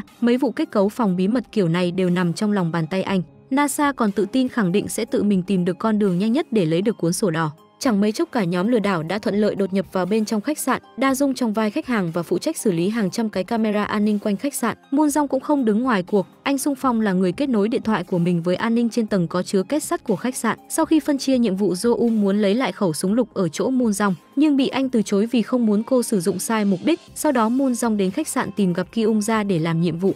Trước khi đi Đa Dung đã dặn kỹ là phải để định vị vị trí của điện thoại cần hách trong bán kính 1 mét. Lúc làm thử Moon Dong có vẻ khó khăn, nhưng lúc thực hành thì lại rất trơn tru. Vì để kết nối thành công phải cần tới 30 phút, nên nam chính đã lôi hết chuyện ra để nói hỏng kéo dài thời gian. Anh hỏi bà Ki Ung ra về vị chủ tịch quỹ mắt đỏ vì tên Trung Sích đã nói với anh rằng ông ta chính là người đứng sau mọi chuyện, bao gồm cả vụ thảm án 10 năm trước của gia đình Jo Um. Thế mà Ki Ung ra lại tỏ ra vô can không biết gì đứng dậy quay đi. Vì khoảng cách quá một mét nên chức năng kết nối của thiết bị tạm hủy. Điều này đồng nghĩa với việc Moon Jong sẽ phải bắt đầu lại thêm một lần nữa. Anh nhân lúc bà ta quay đi mà lén lút bật khởi động lại thiết bị trong áo. Sau đó đề nghị bà Ki Ung ra ngồi xuống để nói chuyện. Bà ta chỉ biết chồng mình làm việc trong quỹ mắt đỏ chứ nội bộ lục đục như thế nào thì không được biết. Còn về việc những đứa trẻ ở quỹ không được phép gặp lại người nhà là do số phận chớ trêu, đầu óc thông minh cũng là một loại nguyền rủa. Nghe không lọt tai mấy lời cay độc nên Moon Jong đã phản bác lại không chút kiêng nể. Đúng lúc này thiết bị thông báo đã hoàn thành kết nối, Moon Jong đứng dậy rời đi thì lại bị bà Ki Ung ra nhắc khéo về quan hệ với giám đốc công ty luật. Sau đó Moon Jong đã đến gặp trực tiếp giám đốc để hỏi rõ mối quan hệ giữa anh ta và bà Ki Ung ra. Giám đốc lúng túng trả lời chỉ là bạn bè trên sân golf vài lần. Khi trở về Moon Jong gọi điện rủ Jo Um đến ăn mì, vì mọi lần ăn mì Moon Jong đều hỏi nhiều chuyện mà lần này lại im hơi lặng tiếng nên Jo Um thấy hơi lạ. Cô chủ động hỏi anh về nguồn cơn của căn bệnh đồng cảm quá mức. Đối phương chỉ đáp lại là do bản thân rất nhạy cảm từ lúc nhỏ, ban đầu đã thi đỗ sĩ quan nhưng vì mắc bệnh tâm lý mà phải từ bỏ. Sau khi gia đình gặp biến cố Moon Jong gặp được một vị luật sư chính nghĩa nên được truyền cảm hứng và theo nghề đến tận bây giờ. Moon Jong cũng thành thật thừa nhận bệnh tình của anh đã khá lên từ khi anh gặp Jo Um. Jo Um cảm thấy bản thân mình cũng bị người ta lợi dụng nhưng cô vẫn rất sẵn lòng. Cô đã lén lục tìm được khẩu súng lục mà Moon Jong cất giấu kỹ lưỡng để thực hiện kế hoạch. Trở về chỗ của Da Dung, Jo Um rất ngạc nhiên vì Jo An đã có mặt ở đây. Anh ta cảm thấy trái đất này thật nhỏ bé, tất cả những người trong quỹ mắt đỏ vừa hay lại đều có liên quan mật thiết với Jo Um. Anh ta gọi Moon Jong đến để thông báo, sẽ báo cáo chuyện này với cơ quan chức năng với tư cách là người quản chế. Thật ra trước đó hội lừa đảo đã cân nhắc đến trường hợp này rồi. Joan có thể dùng lệnh triệu tập của tòa án để yêu cầu NASA và Zoom về đồn vào đúng ngày hành động. Joan và Moon Jong gặp nhau để nói chuyện. Moon Jong cho rằng người bạn đã mất chính là lý do, khiến Joan trở thành người quản giáo và đề nghị được nghe đầu đuôi câu chuyện. Đổi lại Moon Jong cũng đồng ý trả lời hết những thắc mắc của đối phương về Jo chuyện về quá khứ của Joan. Anh chỉ có một người bạn chí cốt duy nhất là Jun Sik. Từ nhỏ Jun Sik đã sống trong một gia đình đầy bạo hành và cãi vã. Mới lớn một chút đã bị gán mác thanh niên tội phạm vì cùng đường kiệt lối mà cuối cùng cậu ấy phải lao đầu vào xe lửa tự vẫn để có tiền bảo hiểm. Từ một học sinh gương mẫu Joan thay đổi hoàn toàn, anh muốn dùng sức lực của mình để giáo hóa những kẻ vào tù ra tội. Joan trở về căn nhà mà 10 năm nay anh chưa đặt chân quay lại, bác sĩ tâm lý còn chưa kịp chào hỏi đã bị anh yêu cầu ra ngoài vì có chuyện riêng cần nói với mẹ. Phía bên này NASA nằng nặc cho rằng kỳ công chuẩn bị kế hoạch hoành tráng như thế mà chỉ lấy mỗi quyển sổ thì phí sức. Họ nên tranh thủ lấy thêm chút gì đó để về tiêu pha, nhưng Jo Um gần giọng cảnh cáo tất cả tập trung làm nhiệm vụ. Bà Ki Ung ra tiến hành thủ tục xác nhận qua nhiều lớp kiểm tra để vào chỗ kết sắt, nhưng ra bên ngoài bà ta lại tắt điện thoại vì sắp có buổi họp. Cũng may là còn có một thiết bị Bluetooth dự phòng nên nhóm Jo Ung vẫn có thể nghe lén được. Bà Ki Ung ra cùng cộng sự đang lên kế hoạch thuê thêm kết sắt bảo mật để cất 12 cân vàng. Vào lúc Moon Jong sẵn sàng hành động thì Đa Dung tá hỏa phát hiện điện thoại của Ki Ung ra với thiết bị đã bị vô hiệu hóa, bắt buộc phải kết nối lại từ đầu mới có thể hack được thông tin. Moon Jong nghe xong nhíu mày phiền não nhưng sự đã đành anh đâu còn lựa chọn nào khác, thế là anh lại phải chủ động đến gặp Ki Ung ra. Dùng Jo Um làm mồi nhử, anh nói sẽ tiết lộ sự thật về tên hung thủ đã giết hại chồng bà ta thông qua đường link trong tin nhắn. Vì vừa tò mò vừa lo nên Ki Ung ra không chút nghi ngờ làm theo mà không hề hay biết. Đa Dung thông qua đường link đã kết nối trực tiếp với chiếc điện thoại của bà ta, song việc Moon Jong quay người rời đi trong khi Ki Ung ra còn chưa hiểu trong tin nhắn có cái gì. Bên này Joan phát hiện sự thật chính mẹ anh là người chỉ dẫn cho quỹ mắt đỏ, thu phục và tẩy não những đứa trẻ để trở thành tội phạm ưu tú. Bà phản bác lại sự tức giận của con trai rằng những đứa trẻ đó vừa không bình thường vừa có hoàn cảnh đặc biệt, trở ra từ nhà của mẹ đẻ. Joan chán nản đến nỗi không muốn bắt taxi, thấy bác sĩ tâm lý vẫn còn chưa rời đi nên tiện thể anh trèo lên xe xin đi nhờ luôn. Ki Ung ra tiến vào thang máy chuyên biệt, trải qua mấy lớp bảo vệ cuối cùng vào phòng kết sắt một mình dùng điện thoại lấy mã để mở kết. Đa Dung thuận lợi vô hiệu hóa điện thoại của bà ta và tạo ra một luồng âm thanh chói tai khiến Ki Ung ra hoảng loạn bỏ rơi cả điện thoại để chạy. Ki Ung ra vội vàng gọi điện cho bảo an nhưng đều không có tín hiệu. Vì trước đó cậu bạn đã cắt hết các đường kết nối với Lễ Tân và Bảo An, cậu bạn không may bị dây phát hiện, hắn đánh đập và nhốt cậu bạn vào tủ kín. Đa Dung thông qua camera phát hiện chuyện này lập tức báo cho Joum. NASA có thời cơ men theo đường chui bí mật để đột nhập phòng kết sắt, anh bình tĩnh cậy mở kết sắt tập trung dò mã mở. Bằng khả năng thiên bẩm NASA đã thành công mở được kết sắt, lúc này nhận được thông báo đồng đội gặp nạn nhưng NASA đã có kế hoạch lật mặt. Ngay từ đầu anh ta đã biết chỉ với một khẩu súng lục khắc tên thì không thể buộc tội, nhưng NASA vẫn chấp nhận làm nhiệm vụ chẳng qua để kiếm chút tiền. Và chứng minh Joum đã sai khi coi thường anh, NASA có thái độ thách thức Joum nếu muốn cuốn sổ thì đừng dở giọng ra lệnh với anh. Sự phản bội này khiến Jo Um giận tím người, cô đùng đùng xông vào phòng kết sắt dùng súng dí vào người NASA. Anh ta vẫn ngoan cố đầy thách thức, một tiếng súng vang lên khiến tất cả ở bên ngoài không hiểu chuyện gì đã xảy ra. Phía bên này NASA bị Jo Um dọa cho sợ ngã ngửa. Anh ta vội vàng lấy cuốn sổ ra đưa cho cô vì sợ phải đổ máu. Khi Jo Um vừa chạm tay vào cuốn sổ cũng là lúc người của Ki Ung ra xông vào. Jo Um cười thành tiếng khi thấy Ki Nung ra ra lệnh cho thuộc hạ báo cảnh sát. Cô cho rằng bà ta thật ngu dốt vì nếu làm to chuyện thì chủ tịch quỹ mắt đỏ sẽ biết chuyện bà ta giữ sổ đỏ nên Jo Um mới phải đến tận đây để cướp, không sớm thì muộn bà ta cũng sẽ bị chủ tịch trừ khử. Moon Jong trở về và phát hiện khẩu súng anh giấu trong nhà vệ sinh đã bị Jo Um lấy đi, phát hiện trong chiếc USB Jo Um để lại là một sự thật động trời. Hóa ra công ty của cha phá sản gia đình ly tán năm xưa đều do một tay thành viên của quỹ mắt đỏ gây ra. Moon Jong gọi điện cho Jo Um nhưng lại không thể liên lạc được. Anh đành đến bệnh viện nơi cậu bạn đang điều trị để hỏi Da Dung.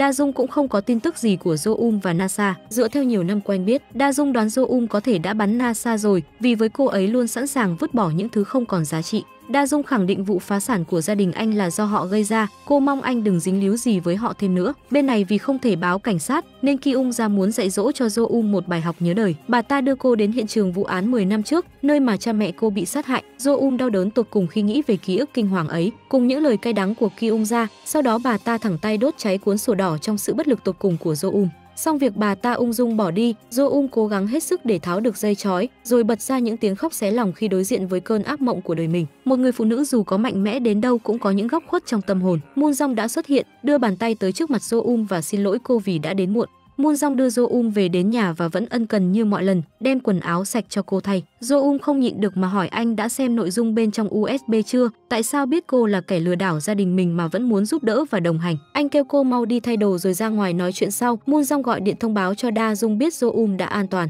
Da Dung thở phào nhẹ nhõm rồi không nhịn được bật khóc nức nở. Cô thu dọn đồ đạc để chuẩn bị rời đi. Moon Jong ân cần bôi thuốc cho Jo Um và báo cho cô hay việc bỏ lại cái USB chứng minh bản thân đã gây ra đau thương cho gia đình anh cũng không thể khiến anh bỏ cuộc. Lúc biết chuyện Moon Jong cảm thấy bị phản bội nhưng sau khi nghĩ lại anh không trách cô nữa, vì suy cho cùng Jo Um và cả hội lừa đảo cũng chỉ là những đứa trẻ bị lợi dụng. Anh xin lỗi vì đã không giúp đỡ cô sớm hơn và hạ quyết tâm, sẽ đồng hành cùng Jo Um trên con đường đòi lại công lý. Sự ấm áp và lương thiện của đối phương khiến cho Jo phải suy nghĩ rất nhiều. Sáng hôm sau Moon Jong đã thấy cô rời đi gọi điện cũng không chịu bắt máy. Jo thế mà lại chủ động tìm gặp Joan, hai người ngồi ở ga tàu, cô thông báo sẽ rời đi một thời gian. Joan cúi đầu thay mặt mẹ xin lỗi vì đã khiến Jo phải bất hạnh như vậy. Giờ thì anh đã hiểu Jo Um không phải kẻ xấu, chỉ là cần một người có thể kéo cô ra khỏi vũng bùn đen tối đó. Tối đó Joan ngồi uống bia tâm sự cùng Moon Jong để than vãn về chứng mất ngủ. Anh đề nghị Moon Jong giới thiệu đến chỗ của bác sĩ tâm lý. Còn Moon Jong, anh cứ suy nghĩ mãi về cái nắm tay từ quá khứ đến hiện tại mà vẫn không dám nhấc máy gọi Jo Um. Ở một diễn biến khác NASA vì sợ chết đã đầu quân cho Ki Ung ra. Vì anh ta biết bản thân mình không có đường quay trở lại hội nhóm cũ, Ki Ung ra bị người của quỹ mắt đỏ tra hỏi về món đồ mà Do Um mạo hiểm cả tính mạng để có được, nhưng bà ta lại chối là không biết gì. Người này thông báo sự trở lại của giám đốc Ma Gang So và yêu cầu Ki Ung ra phải thu xếp một vị trí cho giám đốc Ma Gang So vào trong công ty. Bên này, Joan vô tình gặp và phát hiện chỗ làm việc của bác sĩ tâm lý Jae-in. Nữ bác sĩ nhất quyết giới thiệu Joan đi chữa bệnh chỗ khác vì không mấy thiện cảm với anh. Joan nhất quyết rủ bác sĩ Jae-in đi ăn trưa rồi tâm sự, không biết những học trò như cô đã học được cái gì từ người mẹ độc ác của anh. Trong một lần gặp lại đồng môn cũ, Jae-in đã phát hiện chính mình đã từng tham gia vào dự án nuôi dưỡng những đứa trẻ mắt đỏ năm xưa. Cảm giác tội lỗi khi biết mình đã nhúng tay vào tội ác khiến Jae-in khổ tâm vô cùng. Cô quyết định sẽ giao lại toàn bộ tài liệu dự án năm đó cho Joan. Anh cảnh báo nếu biết những đứa trẻ năm đó đang sống dở chết dở thì Jae-in sẽ còn phải khổ tâm hơn nữa. Ho Dung là cô gái trẻ biết giúp đỡ mọi người, mặc dù hoàn cảnh còn nhiều khó khăn nhưng cô luôn lạc quan.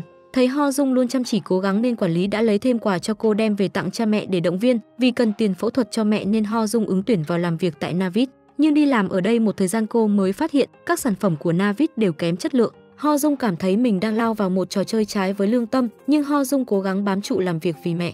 Thế rồi chuyện gì đến cũng phải đến trò chơi đa cấp đưa con người ta vào ngõ cụt. Ho Dung đã hết lời xin các lãnh đạo châm trước thậm chí còn muối mặt chạy theo anh ta vào tận cửa nhà vệ sinh mà vẫn bị ngó lơ, bị dồn vào bước đường cùng Ho Dung để lại bức thư tuyệt mệnh và lựa chọn chấm dứt cuộc đời mình tại đây. Người cha đi làm trở về chứng kiến cảnh này mà ngã vật ra sàn đầy đau đớn. Phía bên này công tố viên và nhà báo được Moon Jong mời đến hỗ trợ, ba người họ thảo luận một hồi, cũng phát hiện ra mấu chốt vấn đề nằm ở cựu giám đốc mới ra tù Ma Gang So. Công ty của hắn có nhiệm vụ chào mời những đứa trẻ tham gia quỹ mắt đỏ, về sau đổi tên thành công ty thực phẩm. Và cha của Moon Jong chính là giám đốc công ty thực phẩm bị phá sản ấy, chỉ cần nhắm vào Ma Jong So cũng đủ lật tung được quỹ mắt đỏ. Nhà báo tìm ra manh mối về công ty Navit là đầu mối chính của quỹ mắt đỏ và đang hoạt động dưới hình thức đa cấp. Ki Ung ra vận hành Navit không một kẽ hở. Đã có những trường hợp khiếu nại nhưng mặc nhiên chưa bao giờ bị kiện ra tòa, nhưng người tố cáo không biết vì lý do gì đều rút đơn kiện và chấp nhận thỏa thuận. Nhiệm vụ của họ là tìm được những người tố cáo để lấy được thêm thông tin nội bộ của Navid. Moon Jong đến nhà trọ tìm Jo Um thì lại bắt gặp dây. Anh ta nhờ Moon Jong chuyển lời tới Jo Um là sẽ phải gặp nhau sớm thôi. Nam chính nghe xong cảm thấy có phần kỳ lạ nên nhấc máy gọi cho Jo Um. Anh hỏi khi nào cô định trở về nhưng cô lại nói bản thân đã kiệt sức rồi, trọ cũng đã trả lại chủ đồng bọn cũng đã bỏ cô đi. Moon Jong hiểu nỗi lòng của Jo Um và khẳng định vẫn sẽ chờ cô trở về để cùng kết thúc mọi chuyện. Jo Um quyết định trở về để giải quyết cục diện này. Cô tạt qua quán mì nơi Da Dung đang làm phục vụ để nói chuyện. Thực ra Jo Um cũng rất khổ tâm, cô chỉ muốn mau chóng lật đổ quỹ mắt đỏ để chấm dứt mọi chuyện. Da Dung nói rằng cô và những người còn lại trong nhóm thực chất không nhắm đến nhân vật nào trong mắt đỏ. Họ chấp nhận giúp Jo Um chẳng qua là vì không muốn sống trong cảm giác tội lỗi. Đã đeo bám suốt 10 năm trời khi phản bội Jo Um, Jo Um muốn được bắt tay với Da Dung một lần nữa, nhưng cô ấy đã không còn muốn quay lại con đường hung ác để tồn tại nữa. Jo Um trở lại tìm Moon Jong ở công ty luật, thấy cô tin tưởng trở về để cùng bắt đầu lại. Moon Jong ra điều kiện nếu muốn hợp tác thì từ nay anh sẽ là người quyết định cách tiến hành các phi vụ lừa đảo. Da Dung chấp nhận cho Jo Um ở nhờ nhà trọ. Cô mượn bạn mình máy tính rồi bắt đầu vận dụng trí nhớ siêu đỉnh để ghi chép lại những thứ đã đọc được từ những ghi chép năm xưa vào chiếc USB rồi giao cho Moon Jong. Toàn bộ ghi chép về quỹ mắt đỏ suốt 10 năm lại được Moon Jong đem tới cho công tố viên. Trước khi công tố viên nhận lấy tài liệu quan trọng này, Moon Jong muốn anh ta suy nghĩ thật kỹ, bởi đây là một trận chiến mạo hiểm, có thể sẽ phải đánh đổi cả sự nghiệp bao năm trong sạch của vị công tố. Nhưng vị công tố cũng nhìn ra đây là một sự kiện lớn, rất có thể về sau sẽ tạo nên một làn sóng cho Đại Hàn Dân Quốc. Vậy là hội lừa đảo kết nạp thêm hai thành viên mới, họ họp bàn và xác định vị chủ tịch quỹ mắt đỏ là ẩn số lớn nhất. Người này có mối quan hệ đặc biệt với giới chính trị tài chính, số lượng người từng tiếp xúc với ông ta chỉ đếm trên đầu ngón tay. Jo Um hiểu rõ thứ ông ta muốn là thâu tóm cả đất nước thông qua băng nhóm tội phạm ưu tú, công ty thực phẩm và công ty đa cấp navit hiểu nôm na là nơi ông ta dùng để rửa tiền. Thế mà Navid lại đang ở giai đoạn sắp phá sản, họ cần một gương mặt gián điệp nội bộ mới để thâm nhập vào công ty. Cả nhóm quyết định chọn Tae Hun, cha của Ho Dung cô gái đã tự tử vì bị dồn ép. Moon Jong gặp lại vị luật sư đã cứu mang anh năm xưa, hai người đi nhậu và ông rất ủng hộ. Chuyện Moon Jong đứng về phía Jo Um để lật tẩy quỹ mắt đỏ. Ông còn thông báo đã tìm được cha của Moon Jong và kêu anh sắp xếp cuối tuần đi gặp cha. Sáng hôm sau Moon Jong cùng Jo Um đến nhà Tae Hun để thuyết phục, nhưng xem ra ông ta không hề muốn hợp tác. Bao lâu nay ông ta đã làm đủ mọi cách từ biểu tình thâu đêm đến đăng bằng chứng lên mạng để vạch trần tội ác của Navid nhưng đều không có tác dụng gì. Những kẻ vào tù rồi cũng được ân xá, chỉ có nạn nhân đáng thương như con gái Tae Hun là không bao giờ trở về nữa. Moon Jong cho rằng mọi chuyện không phải chỉ có như thế. Nếu Tae Hun không đắm chìm trong rượu chè bài bạc thì Ho Dung cũng không phải cật lực bỏ cả học để đi kiếm tiền như vậy. Đến khi mất con rồi ông ta mới cảm thấy ân hận thì cũng đã muộn màng. Tae Hun nghe xong giận tím người, ông ta thẳng tay ném chai rượu về phía Moon Jong để đuổi anh đi. Mặt khác, Ki Ung ra vốn đã không hài lòng về việc đưa Ma Gang So quay lại, vì Navid đang cần danh tiếng, việc đưa một người vừa mới ra tù lên cầm quyền, chẳng khác nào rước thêm rủi ro vào người. Bị người phụ nữ này mỉa mai châm biếm nên Ma Gang So chút giận lên thư ký bên cạnh để dằn mặt.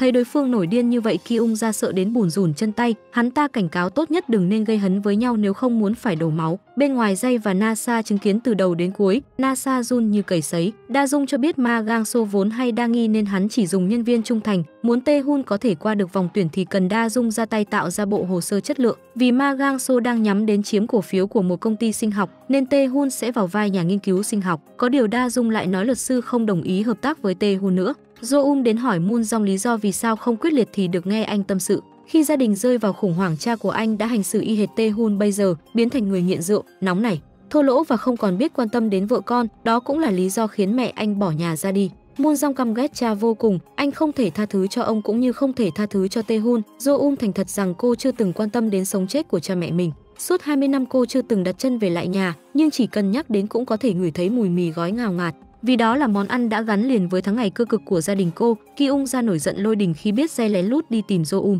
Anh ta nhẹ nhàng ôm lấy cô ta từ đằng sau và hứa sẽ không bao giờ bỏ rơi cô, giống như trước đây đã giúp Ki Ung ra dọn dẹp cái xác của chồng cô khi hắn đòi bỏ trốn. Bác sĩ Jae In đến tìm Jo Um và thừa nhận bản thân có liên quan đến việc xét tuyển những đứa trẻ vào quỹ mắt đỏ. Jae In chân thành xin lỗi và mong muốn Được giúp đỡ Jo-um hết mình coi như để chuộc lỗi, Moon Jong lại lần nữa tìm đến Tae-hun. Anh khẳng định việc ông ta giết Ma Gang So sẽ chẳng thay đổi được gì, trả thù thực sự là phải khiến tất cả những kẻ liên quan chịu trừng phạt. Moon Jong sẵn sàng trợ giúp nếu Tae-hun thực sự thay đổi và quyết tâm rửa hận cho con gái. Tae-hun chấp nhận lời đề nghị gia nhập hội lừa đảo. Ông được tân trang một diện mạo mới đầy tri thức và lịch lãm. Tae-hun sẽ biến thành nhà nghiên cứu trong lĩnh vực sinh học mà Ma Gang So sắp đầu tư. Thấy dáng vẻ uy tín của đối phương, Ma Gang So không chút nghi ngờ đồng ý hợp tác luôn. Moon Jong đến mời bác sĩ Jae đi uống cà phê để thông báo anh đã khỏi bệnh. Từ nay họ sẽ trở thành bạn chính thức chấm dứt mối quan hệ bác sĩ bệnh nhân tại đây. Vừa quay trở về đã thấy NASA đang đợi, thấy cũng tội nên Moon Jong động viên anh ta quay lại cùng các đồng môn. Ai nấy cũng tay bắt mặt mừng chỉ trừ một người, Jo Um cảm thấy ngứa mắt với kẻ phản bội và chỉ thẳng mặt NASA chính là nguyên nhân khiến cậu bạn suýt mất mạng. NASA cũng không vừa, anh lớn tiếng phản bác Jo Um cũng chỉ là giả nhân giả nghĩa.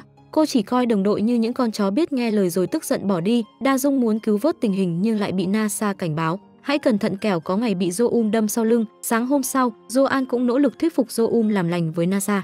Cô cứ nghĩ mãi về sự im lặng của Da Dung và rồi quyết định đưa dây tham gia vào hội lừa đảo. NASA quyết định đầu quân cho Ma Gang So, nhưng thứ hắn ta quan tâm chỉ là Jo đã liều mạng để lấy thứ bí mật gì từ chỗ Ki Ung ra. NASA thành thật nói đó là cuốn sổ ghi chép trong đó tiết lộ cả danh tính thực sự của chủ tịch quỹ mắt đỏ, tức là Ki Ung ra biết chính xác vị chủ tịch đó là ai. Magang Sokelnasa bắt tay cùng hắn để tìm ra cuốn sổ, sau đó có thể dễ dàng kết liễu đối thủ đáng gờm là Ki Ung ra. NASA nhận nhiệm vụ lắp máy quay lén trong phòng Ki Ung ra, Moon Jong kêu Jo Um ra ngoài nói chuyện riêng. Anh nhắc cho cô nhớ chính Jay là kẻ đã đánh đập Jingu không thương tiếc, không những thế còn là người có mối quan hệ bất chính với Ki Ung ra. Việc bắt tay với người như dây tiềm ẩn nhiều rủi ro nhưng Jo Um lại cho rằng chỉ cần hai bên tuân thủ đúng luật thì có thể hoàn toàn tin tưởng nhau. Moon Jong hỏi Jae mục đích thực sự của anh ta là gì. Bây giờ chủ tịch đã chọn Ma Gang So thay vì Ki Ung Ja. Cứ đà này thì kiểu gì Ki Ung Ja cũng gặp nguy hiểm. Trong khi đó mục tiêu của Jo Um là chủ tịch. Jae đã nói sẽ giúp chỉ cần có thể đảm bảo an toàn cho hắn và Ki Ung Ja. Da Dung thành khẩn với Jo Um rằng người mà cô muốn đưa trở về là NASA chứ không phải là Jae. Bên này Ki Ung Ja đang tức điên sau khi xem được những tấm hình của Jae và Jo Um lén lút gặp mặt. Cô ta gọi người chuẩn bị kế hoạch hành động và gọi Jae đến nhà để cảnh cáo anh tốt nhất đừng nên dính dáng đến Jo Um. Với mức độ ghen tuông của mình, Ki Ung Ja không dám chắc sẽ làm gì Jo Um trong lúc nổi máu điên đầu. Da Dung hướng dẫn Tae Hun cài cắm nhiều thiết bị theo dõi trong nội bộ công ty. Tên Ma Gang So vẫn ở chế độ cảnh giác cao, liên tục cho người giám sát chặt chẽ. Bên ngoài văn phòng luôn có tay chân túc trực nên hội lừa đảo mới chỉ có thể nghe lén. Họ phát hiện Ma Gang So đang chuẩn bị kế hoạch kinh doanh với một người phụ nữ là nhà đầu tư của quỹ mắt đỏ. Chỉ cần có kế hoạch đó là họ có thể khống chế toàn dự án. Da Dung sẽ cố gắng truy cập vào ổ cứng ngoài chứa kế hoạch kinh doanh đó. Có lần anh quay lại văn phòng xin bản vẽ của tòa nhà để thuận tiện lắp máy quay lén trong phòng Ki Ung ra thì chạm mặt Tae Hun. Anh nhận ra đây là người do Jo Um cài vào làm nội gián. Vì đã quá quen mắt với các thiết bị của hội nhóm, NASA lo sợ kế hoạch của bọn họ sẽ khiến anh bị liên lụy, nên đe dọa Tae-hun trở về kêu bọn họ dừng lại ngay lập tức. Jo Um biết chuyện mà tức tốc đến nhà xe tìm NASA. Khi NASA trở về thấy Jo Um liền vội vàng đóng cửa vì sợ bị phát hiện, tiếp đó lôi ra cả đống USB mà Jo Um sai người cài trong công ty. Anh ta không muốn liên lụy bởi những kế hoạch của hội nhóm cũ. Jo Um đưa ra một đề xuất đôi bên cùng có lợi. Cô sẽ giao cho NASA lịch trình của đội bảo an để anh ta có thể thuận tiện lắp máy theo dõi vào phòng Ki Ung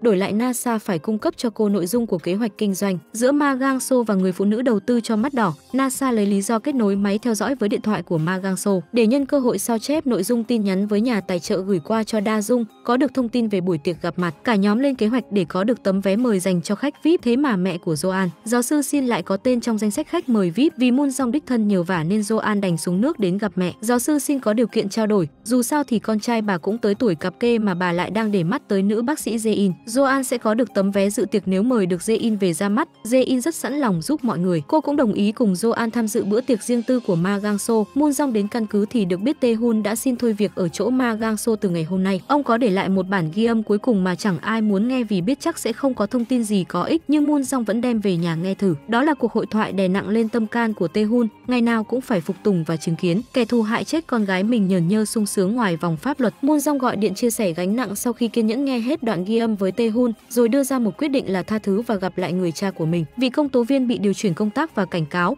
không được dính líu đến những vụ án liên quan đến công ty Navit và quỹ mắt đỏ. Anh ta vui vẻ chấp nhận và tạm biệt Moon Jong rời đi. Jay gọi điện cho Moon Jong nhờ anh chuyển lời đến Jo là đồ vật sẽ về tay cô muộn một chút. Moon Jong biết đồ vật mà cô nhờ Jay tìm chính là khẩu súng lục đó. Anh hiểu Jo là đang có kế hoạch riêng, căn bản không tin tưởng anh. Đối diện với chất vấn của Moon Jong, Jo cho rằng cô không thể thoát khỏi cái bóng của tổ chức tội phạm ấy. Chỉ có mình Jay tôn trọng và thấu hiểu sự trả thù mà cô muốn làm. Lúc này Da Dung chạy vào thông báo hai người phải đến địa điểm tổ chức tiệc để khảo sát và lắp đặt thiết bị theo dõi một chuyến. Cả hai đóng giả làm cặp vợ chồng sắp cưới làm rơi nhẫn đính hôn trong khách sạn, muốn đến để tự mình tìm một lượt nhưng bị nhân viên từ chối vì lý do bảo mật. Thế là Jo Um đành phải viện cớ đi vệ sinh để lọ mọ vào phòng chứa đồ. Vì để tránh bị phát hiện nên Moon Jong cũng chui vào trong. Tình cảnh này làm Jo Um nhớ ra ký ức khi tham gia chương trình hồi nhỏ đã từng gặp Moon Jong. Jo Um xác định nhiệm vụ phải làm trước mắt là chia rẽ nội bộ giữa Ma Gang So và nhà đầu tư Kang Jun. Vì Kang Jun chỉ nói được tiếng Đức và tiếng Anh nên cô ta sẽ do Jin Gu phụ trách, còn Moon Jong sẽ phụ trách phần với Ma Gang So, cùng với sự giúp sức của Jo và bác sĩ Jae In. Họ bắt đầu mô phỏng cách làm nhiệm vụ cho hai nhân vật mới. Vì Ma Gang So cũng từng ở trong mắt đỏ nên đã sớm quen biết hội lừa đảo. Họ chỉ có thể để hai gương mặt mới là Joan và Jae In lộ diện. Sau khi nhận nhiệm vụ, Joan và Jae In tạm biệt nhau ra về. Jae-in bất ngờ gọi hỏi anh định hẹn hò hay kết hôn khiến Joan sững sờ. Ý cô là để khớp thông tin với nhau khi đến bữa tiệc. Joan ấp úng cứ coi như chúng ta đang hẹn hò đi. Moon Jong Jo-um thành một cặp, Jae-in Joan thành một cặp. Họ sẽ đóng giả là các nhà đầu tư dởm tham gia bữa tiệc, hòng hạ bệ uy tín đôi bên để phá hỏng vụ đầu tư. Da Dung bắt đầu vào vị trí phụ trách nắm bắt tình hình. Khi Ma Gang So xuất hiện lập tức thông báo hành động. Jae-in cố tình làm đổ rượu lên người Ma Gang So. Joan định nhân cơ hội lấy danh thiếp giả ra, nhưng Ma Gang So đã nhận ra Joan là con trai giáo sư Sin. Tình thế nào? Nằm ngoài dự đoán nên Jae-in đành phải xuôi theo chiều gió. Giới thiệu cô là hôn thê của Joan mới có thể qua được cửa ải này. Phía bên này, Moon Jong tới nhà vệ sinh nơi Ma Gang So đang thay đồ. Anh cố tình nói lấp lửng về chuyện Kang Jun đã chọn được đối tác khác rồi để lại danh thiếp rời đi. Kang Jun bước vào bữa tiệc thu hút sự chú ý của tất cả mọi người. Jingu có nhiệm vụ tiếp cận nhưng có vẻ cô ta không bị thu hút bởi người khác giới. Kang Jun bất ngờ chuyển hướng đến nắm tay và bắt chuyện với Jo Um. Moon Jong vội vàng kéo Jo Um đi để tránh đụng mặt với Ma Gang So. Khi hắn đang niềm nở lấy lòng cô tiểu thư nhà tài phiệt thì Ki Ung ra lại bất thình lình xuất hiện. Kang Jun đã nghe về cả hai dự án của hai nhân vật này nhưng cô sẽ chỉ chọn một để đầu tư. Vậy là cuộc đối đầu giữa Ma Gang So và Ki Ung ra chính thức được bắt đầu. Ma Gang So cay cú vì bị lộ thông tin buổi tiệc, mà kẻ nằm trong diện nghi ngờ chỉ có thể là NASA. Hắn thẳng tay đánh đấm không thương tiếc cho đến khi NASA bất tỉnh nhân sự. Bên này Jo Um nhất định không thể bỏ lỡ cơ hội tiếp cận Kang Jun. Cô đứng chờ sẵn bên ngoài và ám chỉ mình cũng có dự án cần đầu tư. Vốn đã có cảm tình nên Kang Jun cho Jo Um một cơ hội gặp mặt lần sau. Hội lừa đảo phát hiện số lượng phiếu quà tặng của Ki Ung ra tung ra có rất nhiều nhiều ưu đãi với mệnh giá lớn. Điều này vô hình chung thu hút một lượng lớn người đặt mua, nhưng họ quên mất rằng Ki Ung Gia cũng là một kẻ lừa đảo. Phiếu quà tặng thực chất đều không có hiệu lực quy đổi, nếu phản ứng tích cực thì bà ta sẽ dâng lên cho chủ tịch, còn nếu phản ứng tiêu cực thì bà ta sẽ dồn hết tiền vào túi rồi cao chạy xa bay. Tối đó Jo Um gặp lại Jay, Anh ta muốn cô giúp kéo dài thời gian để cùng Ki Ung ra trốn khỏi Hàn Quốc. Anh ta lấy khẩu súng lục ra làm điều kiện. Moon Jong nấu mì cho Jo Um. Cô hỏi anh đã từng quyến rũ phụ nữ chưa? Moon Jong trả lời có và bí quyết không phải là tiền mà là sự chân thành. Nghe theo lời khuyên ấy đến gặp Kang Jun. Họ cùng uống rượu và chơi trò nói thật. Jo Um bất ngờ thẳng thắn thừa nhận mình là một kẻ lừa đảo đang phải trả thù và cần sự giúp đỡ của Kang Jun. Ma Gang So đắn đo rất nhiều với tờ danh thiếp. Hắn đe dọa nếu hôm nay không nhận được tiền đầu tư thì cả NASA và Ki Ung ra đều phải chết. Nói rồi quyết định đến tìm Moon Jong để nghe tư vấn đầu tư. Nhóm của Da Dung phát hiện NASA có thể bị giết trong hôm nay liền gọi thông báo tình hình cho Jo Um. Ngay sau đó Kang Jun đã quyết định chuyển tiền đầu tư cho Ma Gang So.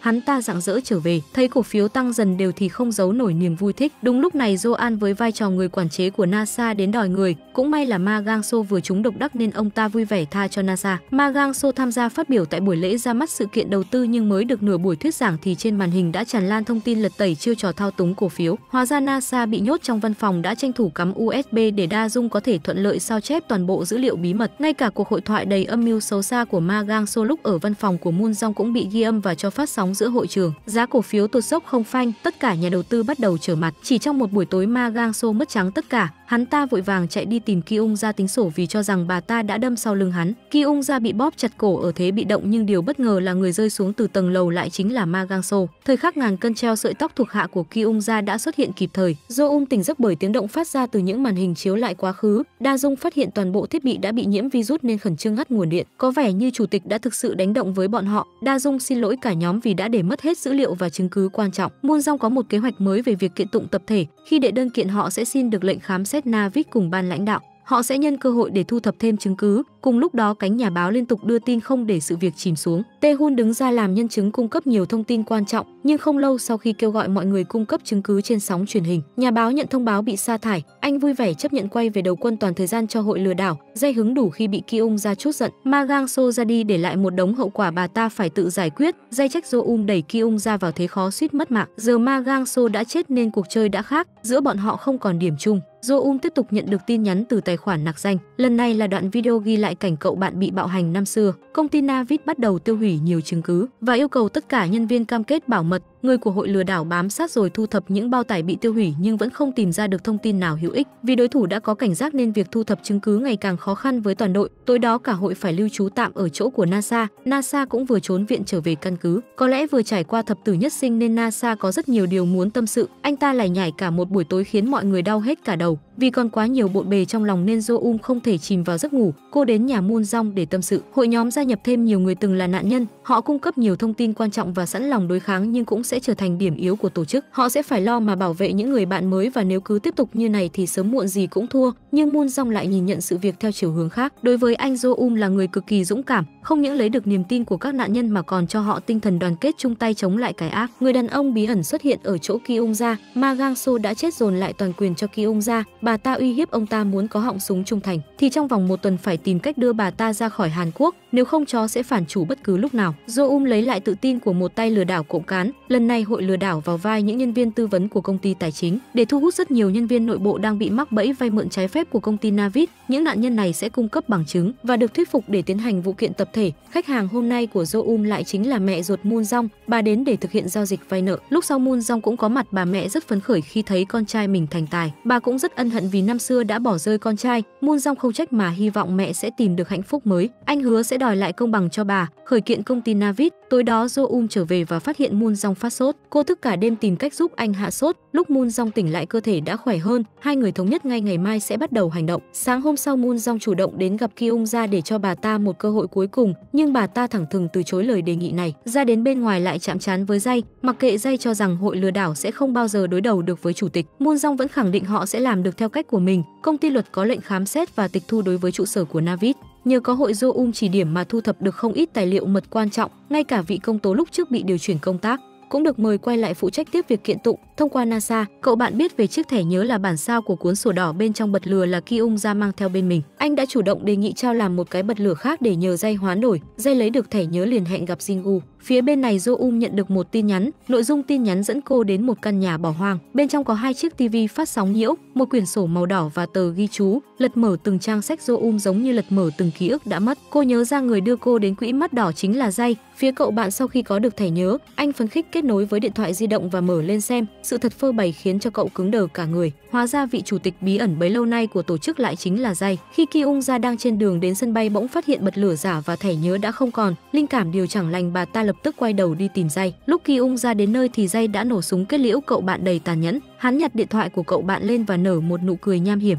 Ki Ung ra bị dọa sợ đến ngây người, bà ta đã giữ kín bí mật này suốt 10 năm và cho đến tận cùng cũng chỉ cần được ở bên cạnh Dây. Hắn tin và kêu Ki Ung ra hãy bay khỏi Hàn Quốc trước rồi sẽ theo sau. Người chú thân thiết đến nhà tìm Moon Jong. Nước mắt lưng chồng nói cho anh biết sự thật kinh hoàng, số tiền trang trải cho Moon Jong ăn học ở trường đại học luật thực chất không phải là do học bổng, mà là tiền cha anh giết người kiếm được. Số phận chớ trêu nạn nhân của cha anh lại chính là cha mẹ ruột của Jo-un năm đó. Bên này Jo-un tìm thấy một người đàn ông bị trói đang kêu cứu, cô lấy được tấm hình trên người ông ta. Sốc đến chết lặng khi biết người này chính là kẻ đã ra tay bắn chết cha mẹ mình, cô nhận được điện thoại của Dây. Hắn ta kêu Jo Um hãy từ từ tận hưởng đừng vội kích động, vì ngay sau đây sẽ là một loạt quà tặng dành riêng cho nữ chính. Vừa nói dứt lời thì người đàn ông bị dòng dọc kéo lên tư thế thất cổ, Jo Um hốt hoảng tìm cách giải cứu người đàn ông. Cô ném vỡ cửa kính dùng mảnh thủy tinh để cắt đứt dây thừng, nhìn ông ta bất động trên sàn Jo Um sợ đến nỗi không dám cử động. Cũng may cha của Moon Jong đã tỉnh lại khiến cô thở phào nhẹ nhõm. Cô liên lạc với đồng đội kêu họ báo cảnh sát, đồng thời đi tìm tung tích của cậu bạn. Jo Um giao dịch với người của Ki Ung ra để được đưa đến chỗ dây, vừa mới nhìn thấy cậu bạn nằm bất tỉnh, cô đã bị dây bóp cổ khống chế. Ngay từ lần đầu tiên chạm mặt nhau dây đã mặc định hắn và Jo Um cùng một loại người bị thế giới bỏ rơi, sinh ra trong nghèo khó. Cha mẹ dùng bỏ và không có nơi nào để trở về, định mệnh đã cho họ gặp nhau thì không nên lãng phí. Dây muốn Jo Um xử lý Ki Ung ra trong vài ngày nữa, cô thật sự sốc vì không nghĩ người đàn ông mình từng tin tưởng lại có thể khốn nạn đến mức này. Ki Ung ra là nhân tình 10 năm thậm chí bà ta còn sẵn sàng hy sinh cả tính mạng để bảo vệ dây, vậy mà khi hoạn nạn hắn vẫn tuyệt tình vứt bỏ. Jo Um dùng hết sức để kéo cậu bạn ra khỏi chỗ này. Một lúc sau đồng đội cũng tới đưa cậu bạn đi cấp cứu.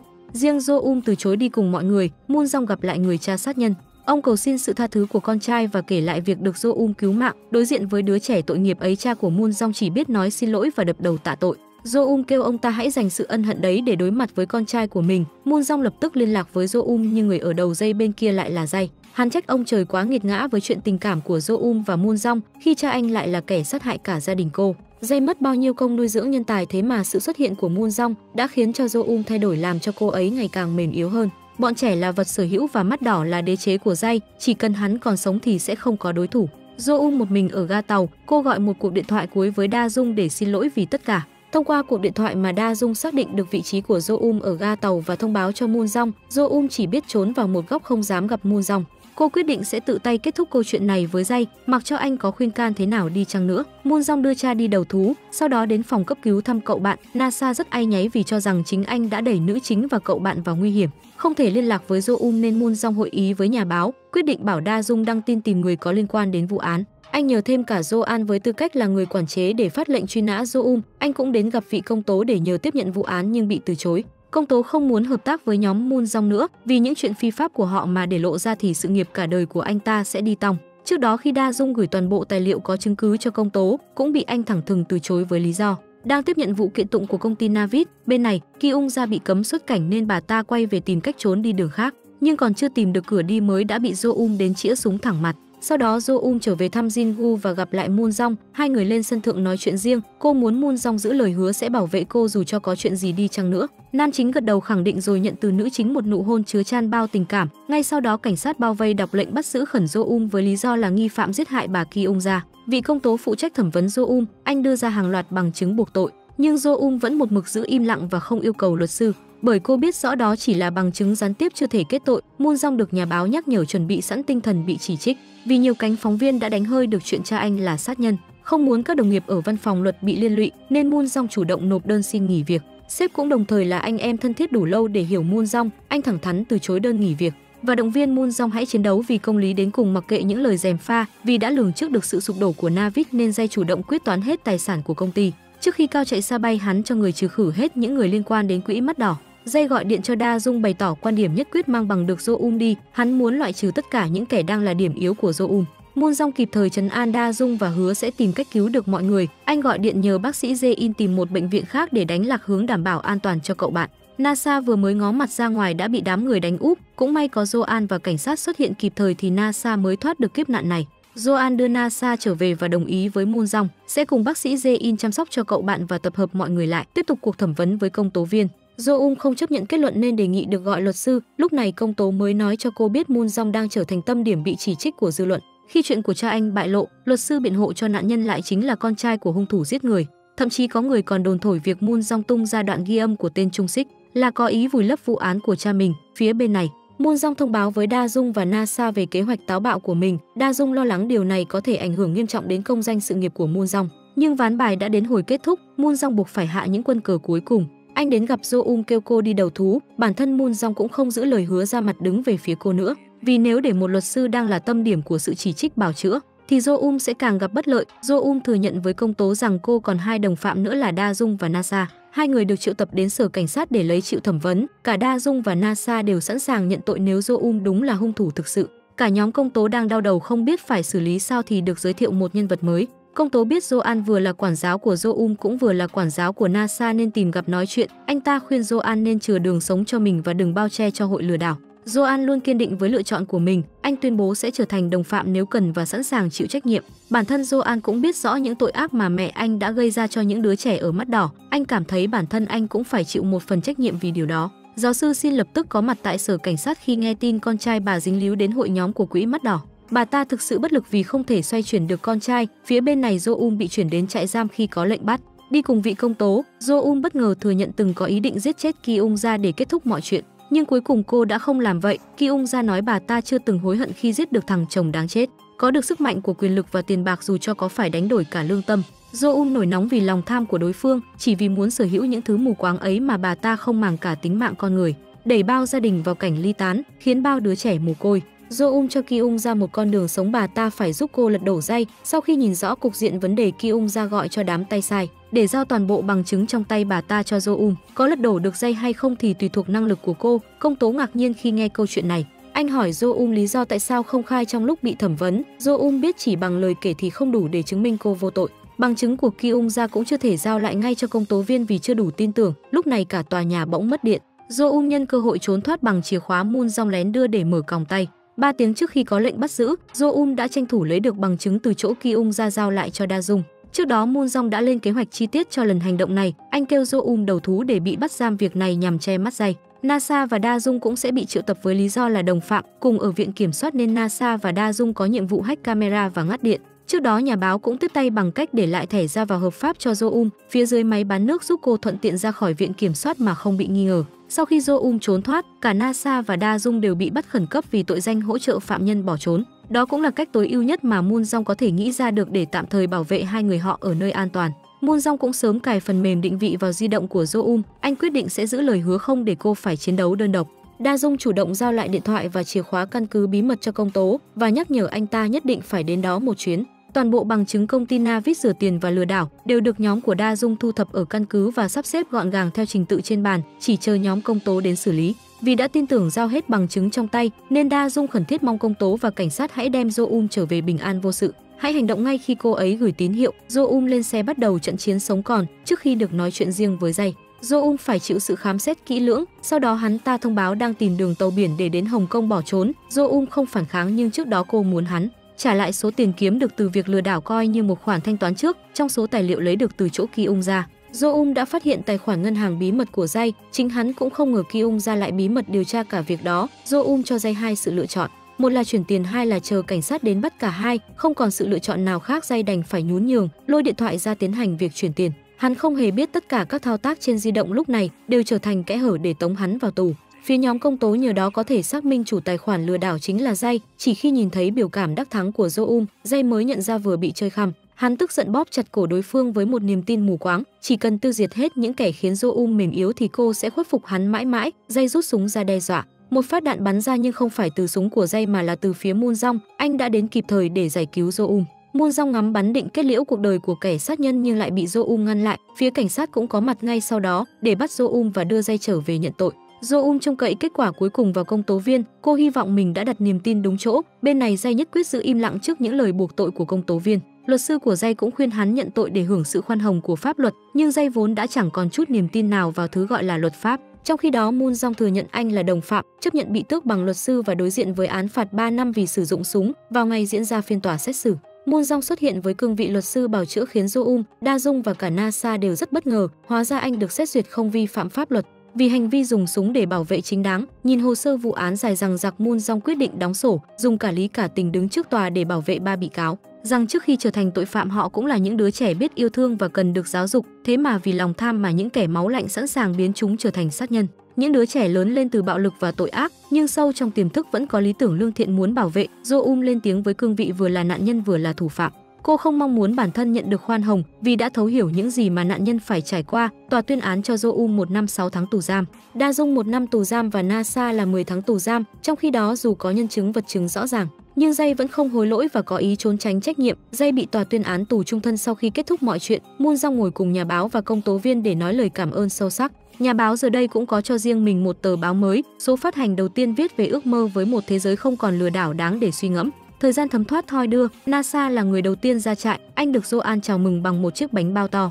Tiếp đó Da Dung cũng ra tù, Jo ngày nào cũng đọc thư viết tay cho gửi nhiều tin yêu của những người đồng đội đã từng vào sinh ra tử với cô. Moon Jong tiếp tục tái khởi kiện vụ án 10 năm trước của Jo Um để giúp cô minh oan, anh cũng quyết định giảng hòa với mẹ, buông bỏ nốt những tổn thương trong quá khứ để hướng tới tương lai. Cuối cùng ngày Jo Um ra tù cũng đã đến, Moon Jong đến đón cô trở về với những người bạn luôn mong ngóng cô từng ngày. Jo Ung ôm chặt cậu bạn, lần đầu cảm thấy ý nghĩa của cuộc sống tươi đẹp, Jo An vẫn đảm nhận nhiệm vụ quản giáo cho Jo Ung. Anh đã đính hôn với bác sĩ Jae In và có một chuyện tình ấm áp. Phía Da Jung cô được công tố viên đích thân mời tham gia vào đội an ninh mạng quốc gia. Jo Ung cũng đã gặp lại cha của Moon Jong để nói lời tha thứ. Những nạn nhân bị lừa đảo đều nhận được bồi thường hoàn trả. Cuộc sống của băng đảng lừa đảo một thời giờ đã khác. Kết phim Moon Jong tìm đến nhà mới của Jo Ung vì còn điều chưa tỏ. Tình yêu vốn dĩ không nhất thiết phải nói ra bằng lời phải không các bạn. Mọi đắng cay ngọt bùi ta đều sẽ nếm trải. Hãy đón nhận cuộc sống bằng con mắt nồng ấm đầy tin yêu bạn nhé. Bộ phim đến đây là kết thúc. Hẹn gặp lại ở các video review tiếp theo.